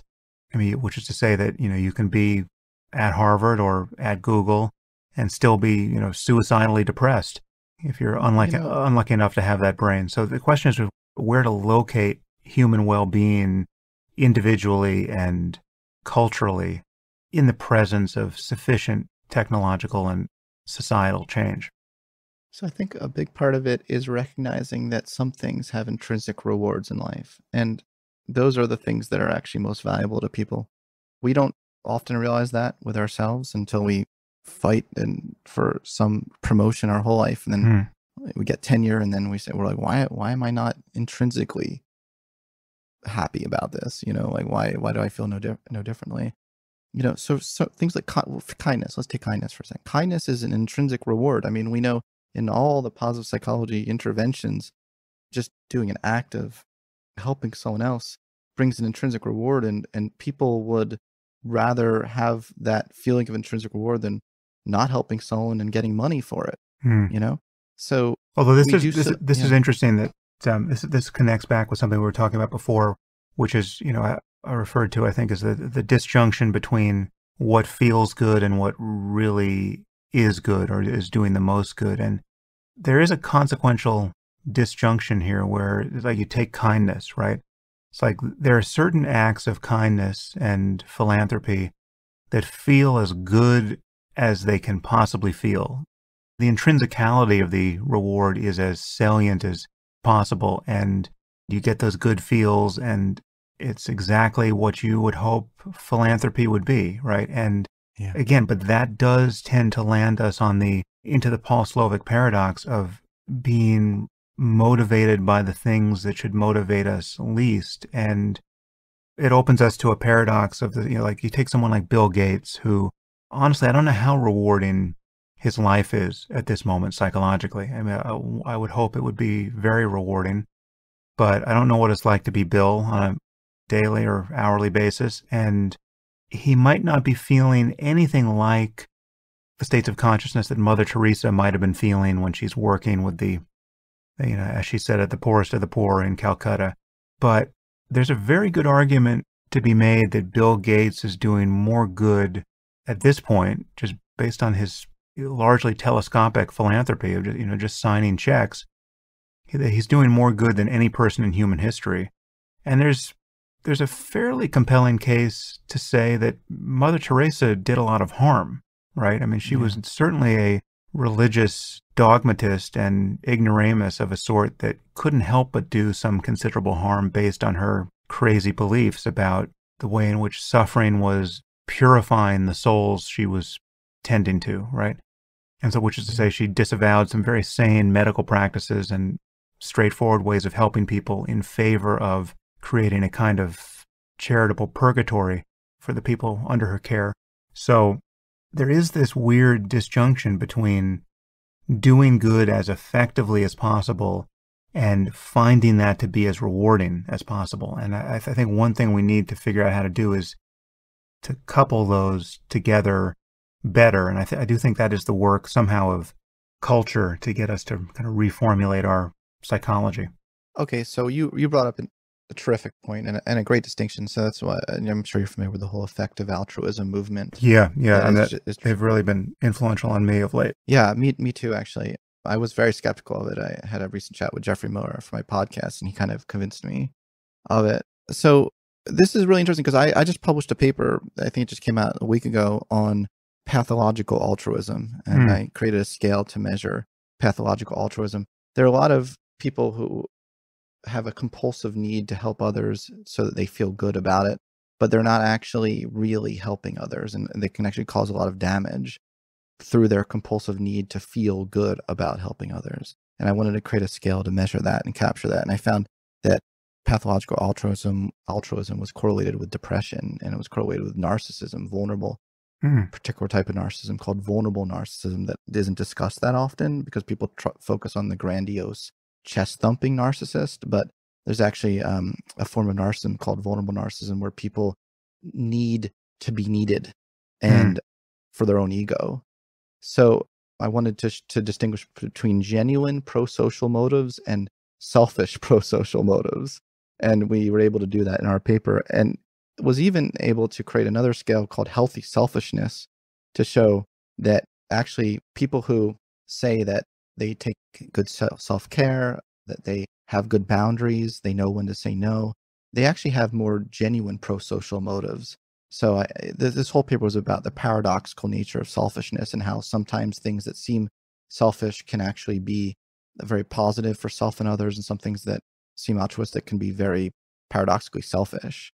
So I think this relates a lot to what you're saying, and it's a really good distinction. The ideal, the ideal here, and so I'm going to clarify what I said earlier, is not just to have the intrinsic reward of helping others, but for that helping to have made a genuine positive impact on the people that you wanted to help and and when the two come together it is a beautiful thing you know you can the people who score high on, on our pathological altruism scale this is the interesting paradox they don't feel good. They Mhm. feel compulsive. Mhm. um they it's never enough. Helping others is never enough. They have to you know they never enjoy it at any one moment. It's always on to who's the next person. It's like a there, there are people who are addicted to altruism for, Mm. of the feeling of that feeling and that's what i wanted to capture in our scale and i can send you that paper if you're interested in reading it yeah, yeah. um, I'd love to read it. Yeah. That, I, th- I think there was a book by that title. I forgot the woman's name who was focusing yeah on this. absolutely barbara oakley Yeah, uh, Barbara. yeah. edited a wonderful and i uh, i reached out to her and i said do you think that it'd be worth you know trying to do a scientific study because a lot uh, to create a scale on that so she's been really supportive of this project she's a, actually a pioneer in that field for sure Yeah, yeah, that's great. Uh, There was the I forgot his name, but there was a man. I believe he was profiled in the New Yorker at one point, but the compulsive donator of his of his organs, right? oh There, there was a guy who I mean, he donated one kidney, and I think he donated, you know, to a stranger, and then he donated something else. He was somebody who was desperate to donate the maximum amount of his body he could. It seemed, and this was I think Barbara writes about him, but he's he's one of um, he's an example of of this link between depression and pathological altruism. That's a, that's a great example, and yeah, Barbara uh, uses a lot of other good examples. I think like eugenics.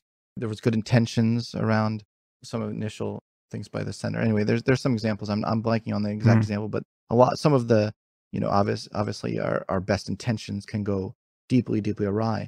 But when those intentions are selfishly motivated and we're not honest with ourselves about that, it's actually likely to go wrong. Right, right. Yeah, there. I mean, there's something to square here with. Again, I, I do view it as a kind of salience problem because we're so, for reasons that are not yet understood but are, are fairly demonstrable, we are we respond to stories in a way that we don't respond to data.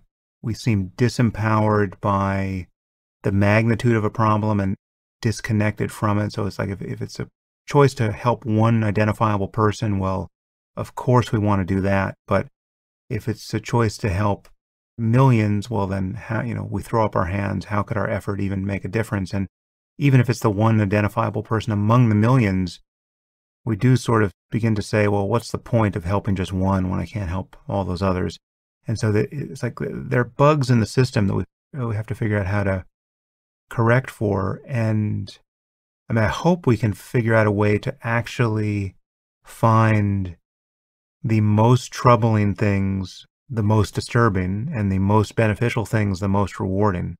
Yeah, that we can continue to improve the fidelity of our feeling in its fit to the actual ethical landscape. I don't really have any ideas about how to do that apart from noticing the looseness of fit and struggling to tell better stories.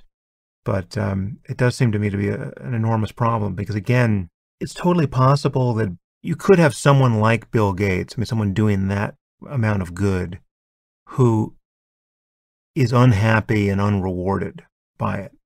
Just because it's, you know, signing a check is not enough of an experience or, you know, the feedback isn't, doesn't drive the good feels in the way that the single compelling instance of kindness, you know, when you've brought over, you know, freshly baked cookies to your neighbor's house and seen their reaction, that might be the thing you remember as the real instance of kindness, despite the fact that you just opened 17 different laboratories that are producing vaccines that may yet restart civilization or whatever it is.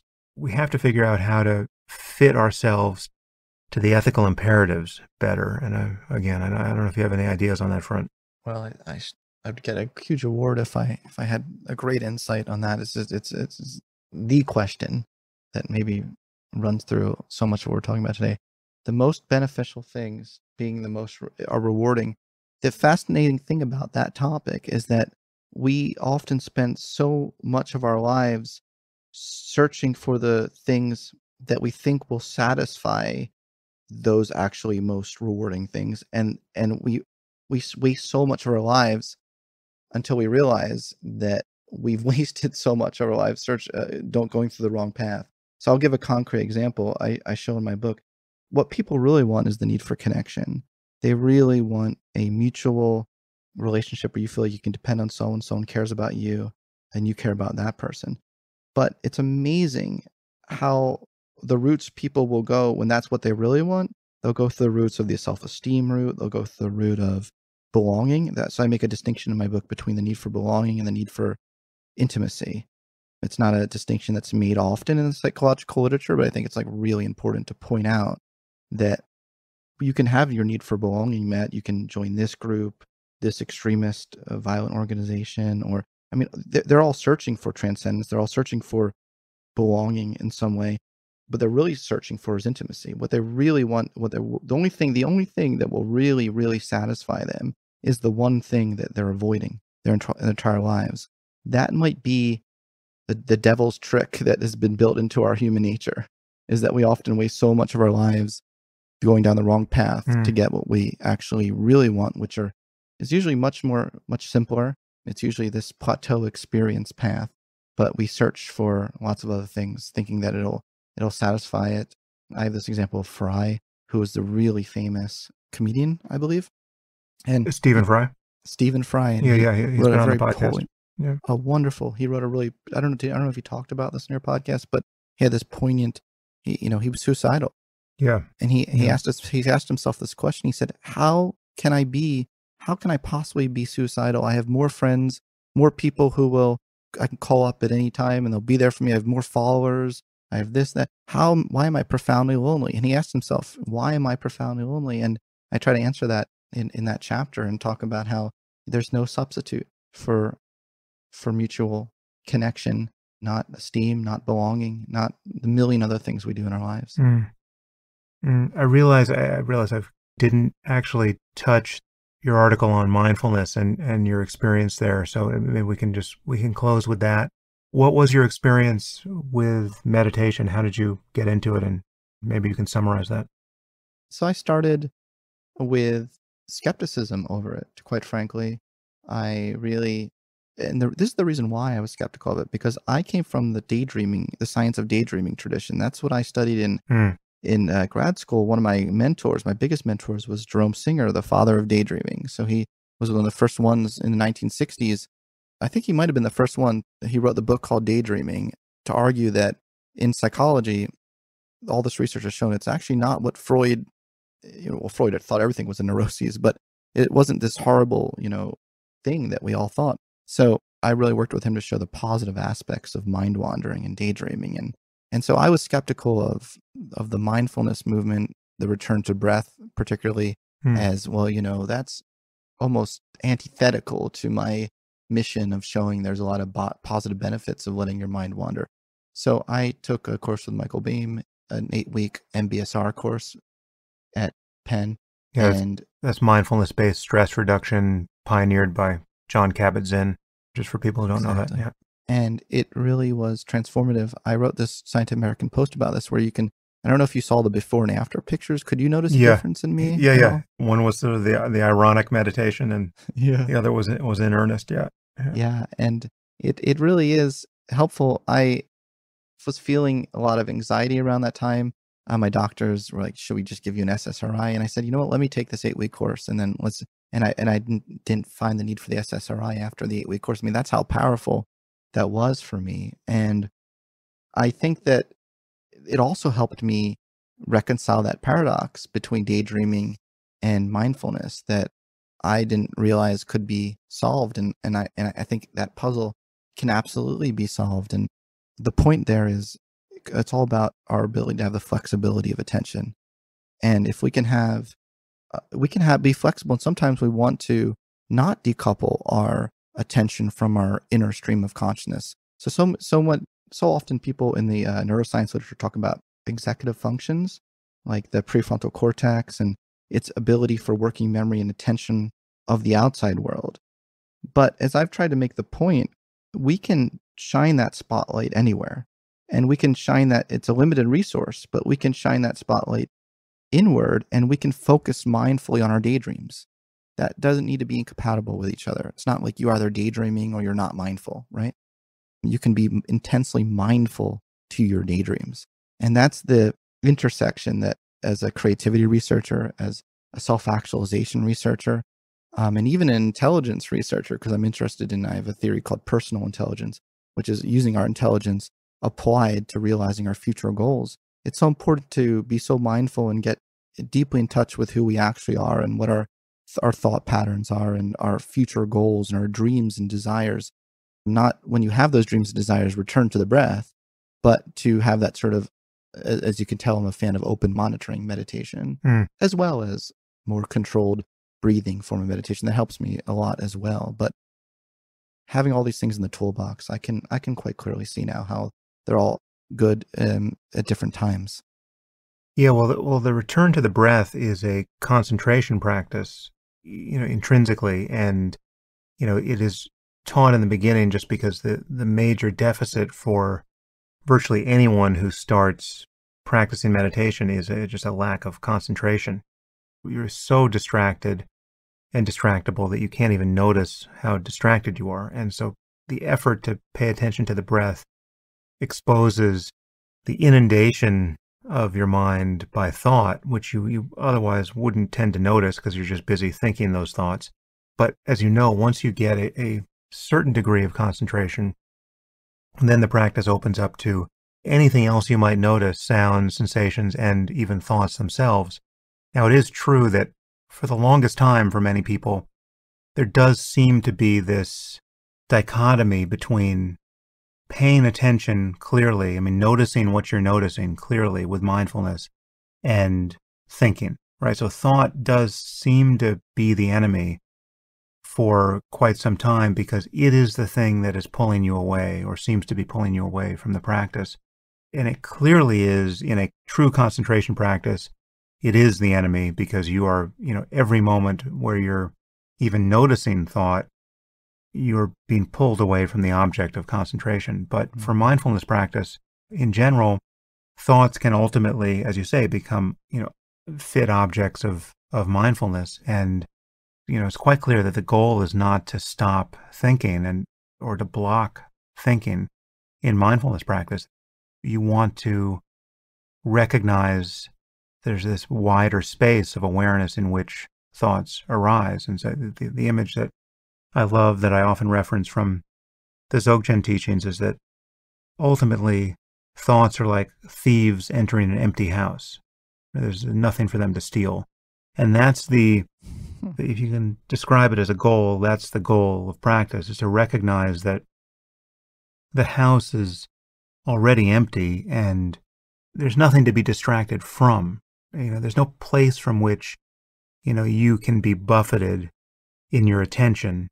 I mean, that's when mindfulness becomes, you know, truly in, invulnerable or, or becomes recognized to be an intrinsic property of consciousness. And again, I mean, this is not something that you know, I have stabilized in my own case, but it's, you know, I, have done enough practice to you notice the non paradox here, that there really is a place from which it's hard to say, how was it that thoughts could ever be identified with, right? Like, how is it that you could ever have felt that your mind was trimmed down so far that you were identical to this next thought of whatever self judgment, self esteem, pride, fear, anxiety, whatever it was that has just arisen and in that moment been recognized as recognized as a mere you know piece of language or image in this larger space of of awareness.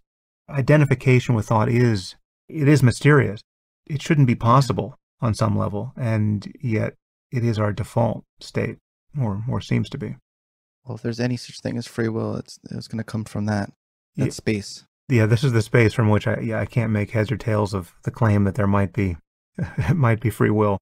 Mm. Like uh, like if there is, Yeah, I mean, there's just it's that's our only hope, though. it's completely compatible with not understanding the concept of free will. There. I agree. Can I can I throw something at you? Yeah, yeah. So the in work that I've been doing with David Yaden and, and others, there's two components of self transcendence. There's this self loss component, but there's also a connection to the the world, the oneness Mm. sort of component of self transcendent experiences. I feel like the connection part doesn't get as much play when I feel like it should get it. That's what should get the play, That's because interesting. Yeah. so I just want to throw this this at you because what people I had David Vago, who's a scientific researcher on mind on the latest science of mindfulness, and he told me something I that just blew me away when he was on my podcast. He said, "You know, we actually have no good data showing that mindfulness improves your your feeling of connection to others, or improves your social skills, or improves like your feeling of of love for others." People focus so much on all the things you just focused on when you're talking about mindfulness, the the self loss and the sort of ability to concentrate and ability to, to see your to see your thoughts non-judgmentally and have that space, et cetera, et cetera. That part of conscious uh, of of of uh, self transcendence. But I want to throw this at you because I've been looking at the data. Like I have data looking at the two components of self transcendence, and we found that when you just isolate that self loss part from the connection part, it's actually correlated with lots of maladaptive things in life. It's correlated with um, depersonalization, disintegration, a sense of I don't know who I am, narcissism. That was a surprising finding. We found that people scoring high in narcissism actually reported imposter syndrome. They reported feeling uh, like a, a loss of a sense of self of, of who they are.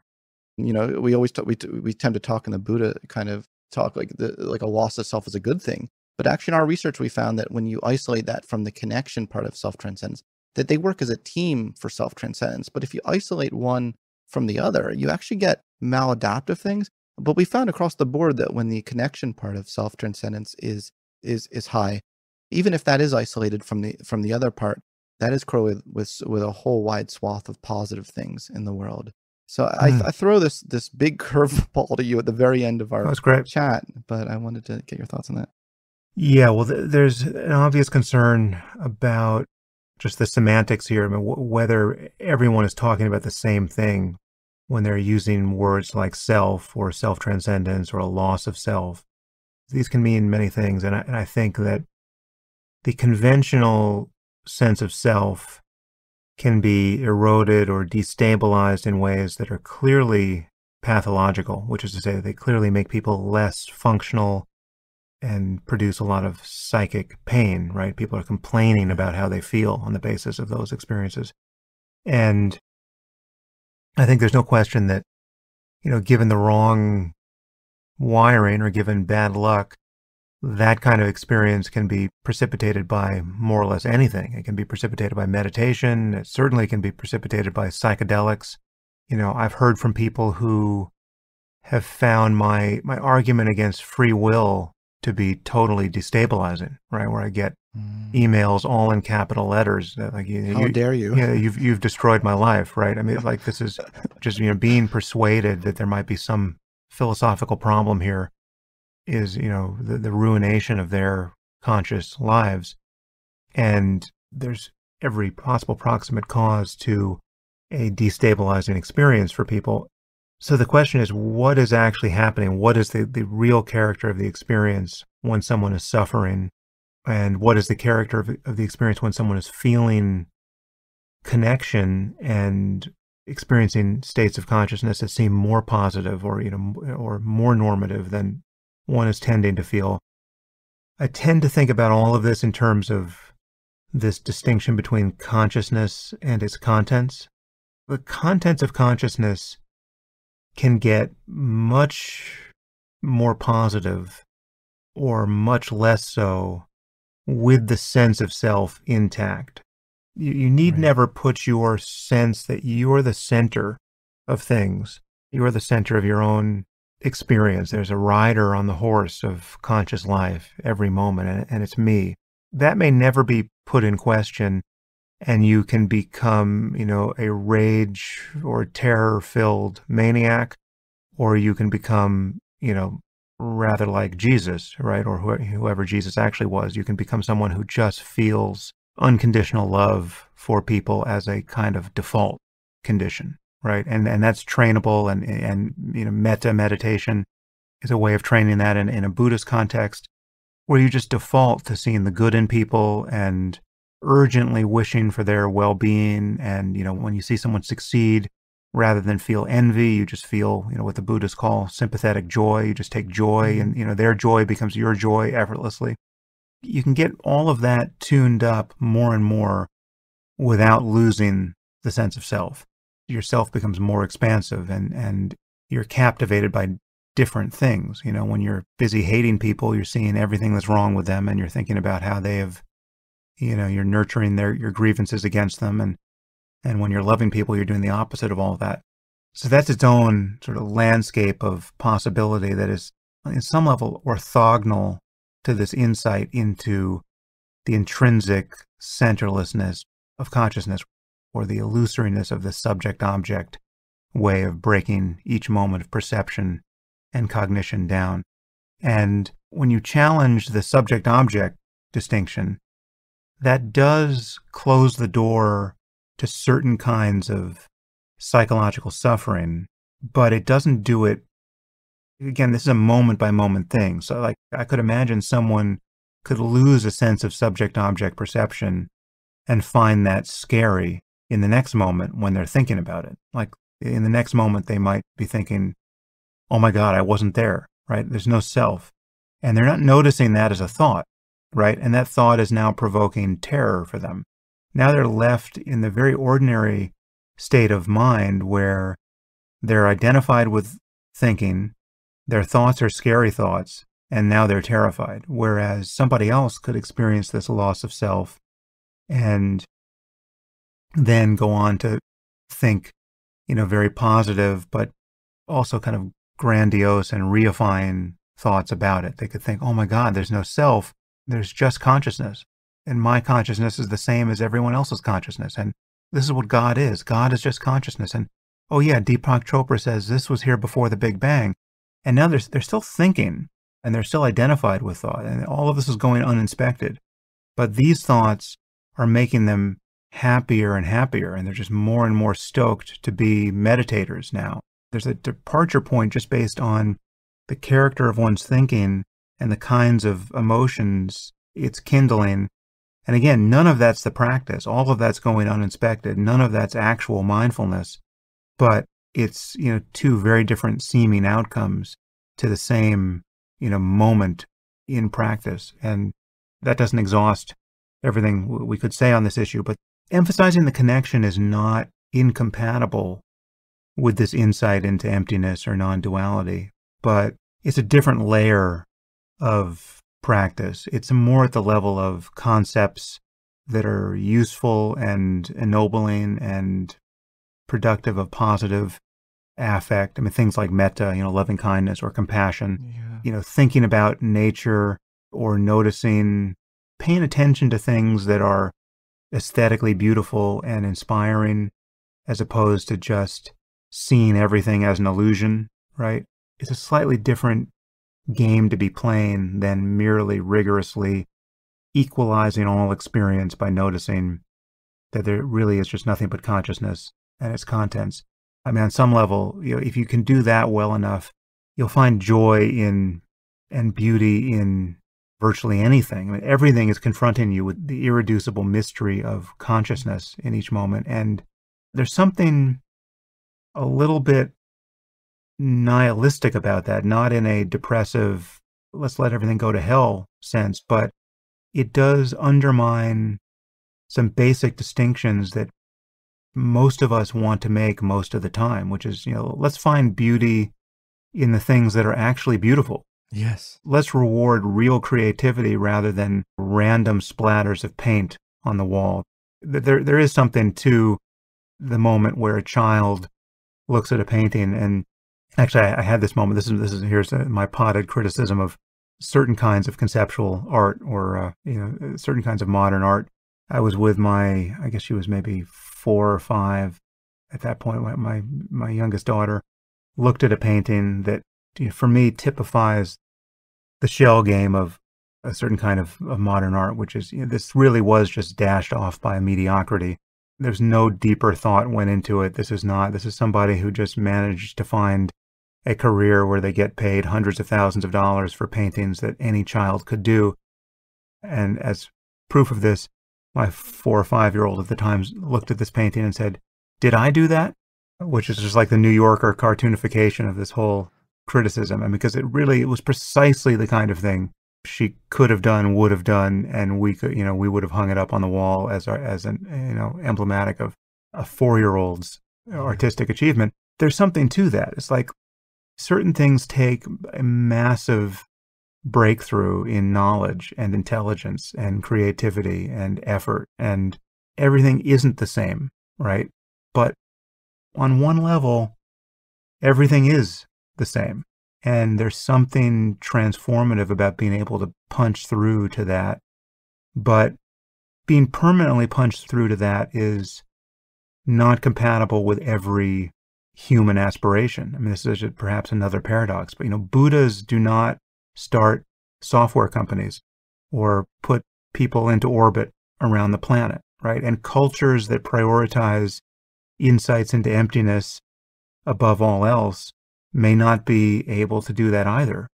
Everything I'm advocating in when I'm on the topic of meditation has to be held in tension with all the other good things we want to get done in the world, like in the, in the, in the immediate case, producing an, an effective vaccine for this coronavirus. Now, what kind of culture do you need to do that effectively? It's definitely not a culture filled entirely with monks and nuns who are doing nothing but meditate, right?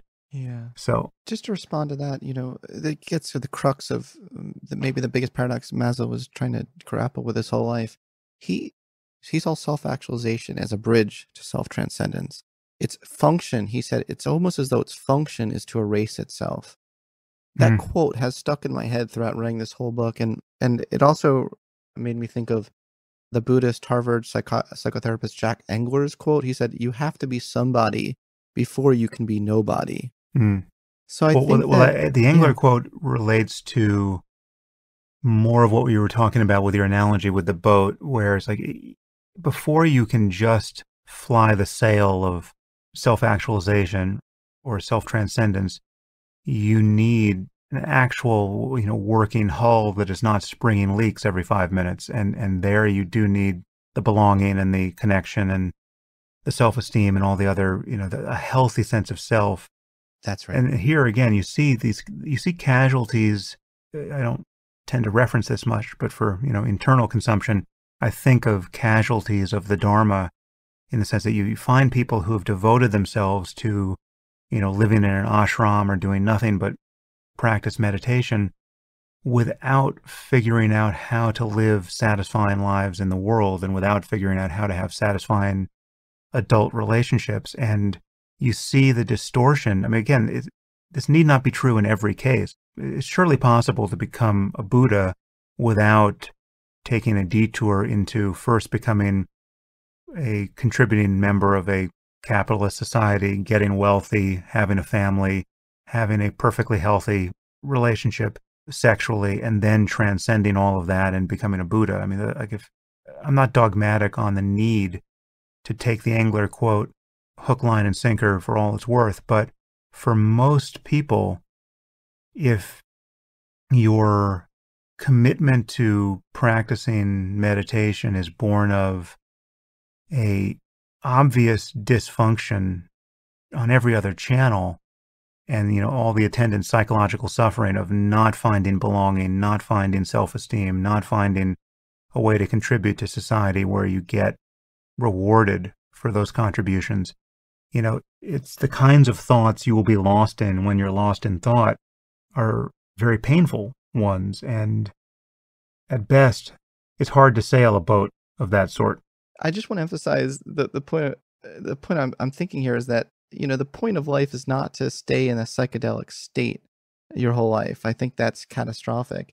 It seems to me what's really important is that integration is is being able to see a vision for the way humans could be, but but then to connect as much as you can with society and the world with that state of mind. So it really is both of those aspects of self transcendence working in synergy with each other that's that's important.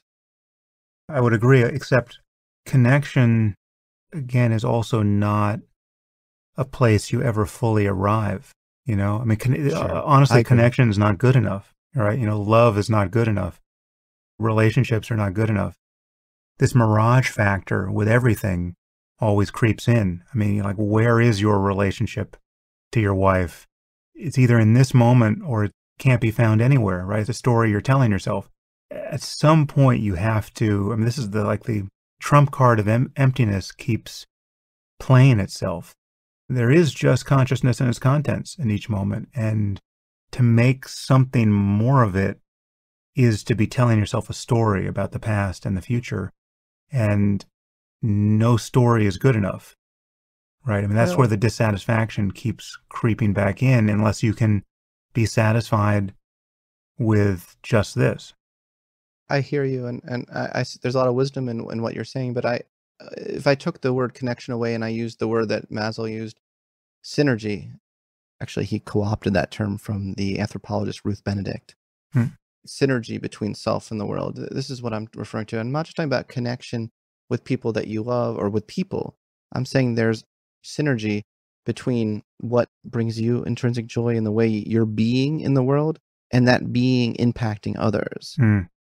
That's really what I'm referring to. That's more of an objective thing that doesn't have to do with stories that you're telling yourself. There's a great synergy. Yeah, and um, well, we've covered a lot of ground. I um, I sure did. I'm not sure what the the punchline is, but I really enjoyed it, and uh, thank you for for your work and for focusing on this side of um, the continuum. Because if ever we needed a a new science of self actualization, I, I think it's at, at a moment like this where uh, so many of the impediments to our thinking from first principles are being removed. You know, for better and worse. We're at a moment where it seems that no culture has a compelling final answer to how we all should live and, and what we should aspire to. And again, we, you, you and I are having this conversation still in the midst of this pandemic, which has, has reset many people's expectations of what a successful society might look like. And um, it could all look different in a year, but the themes we've been talking about really are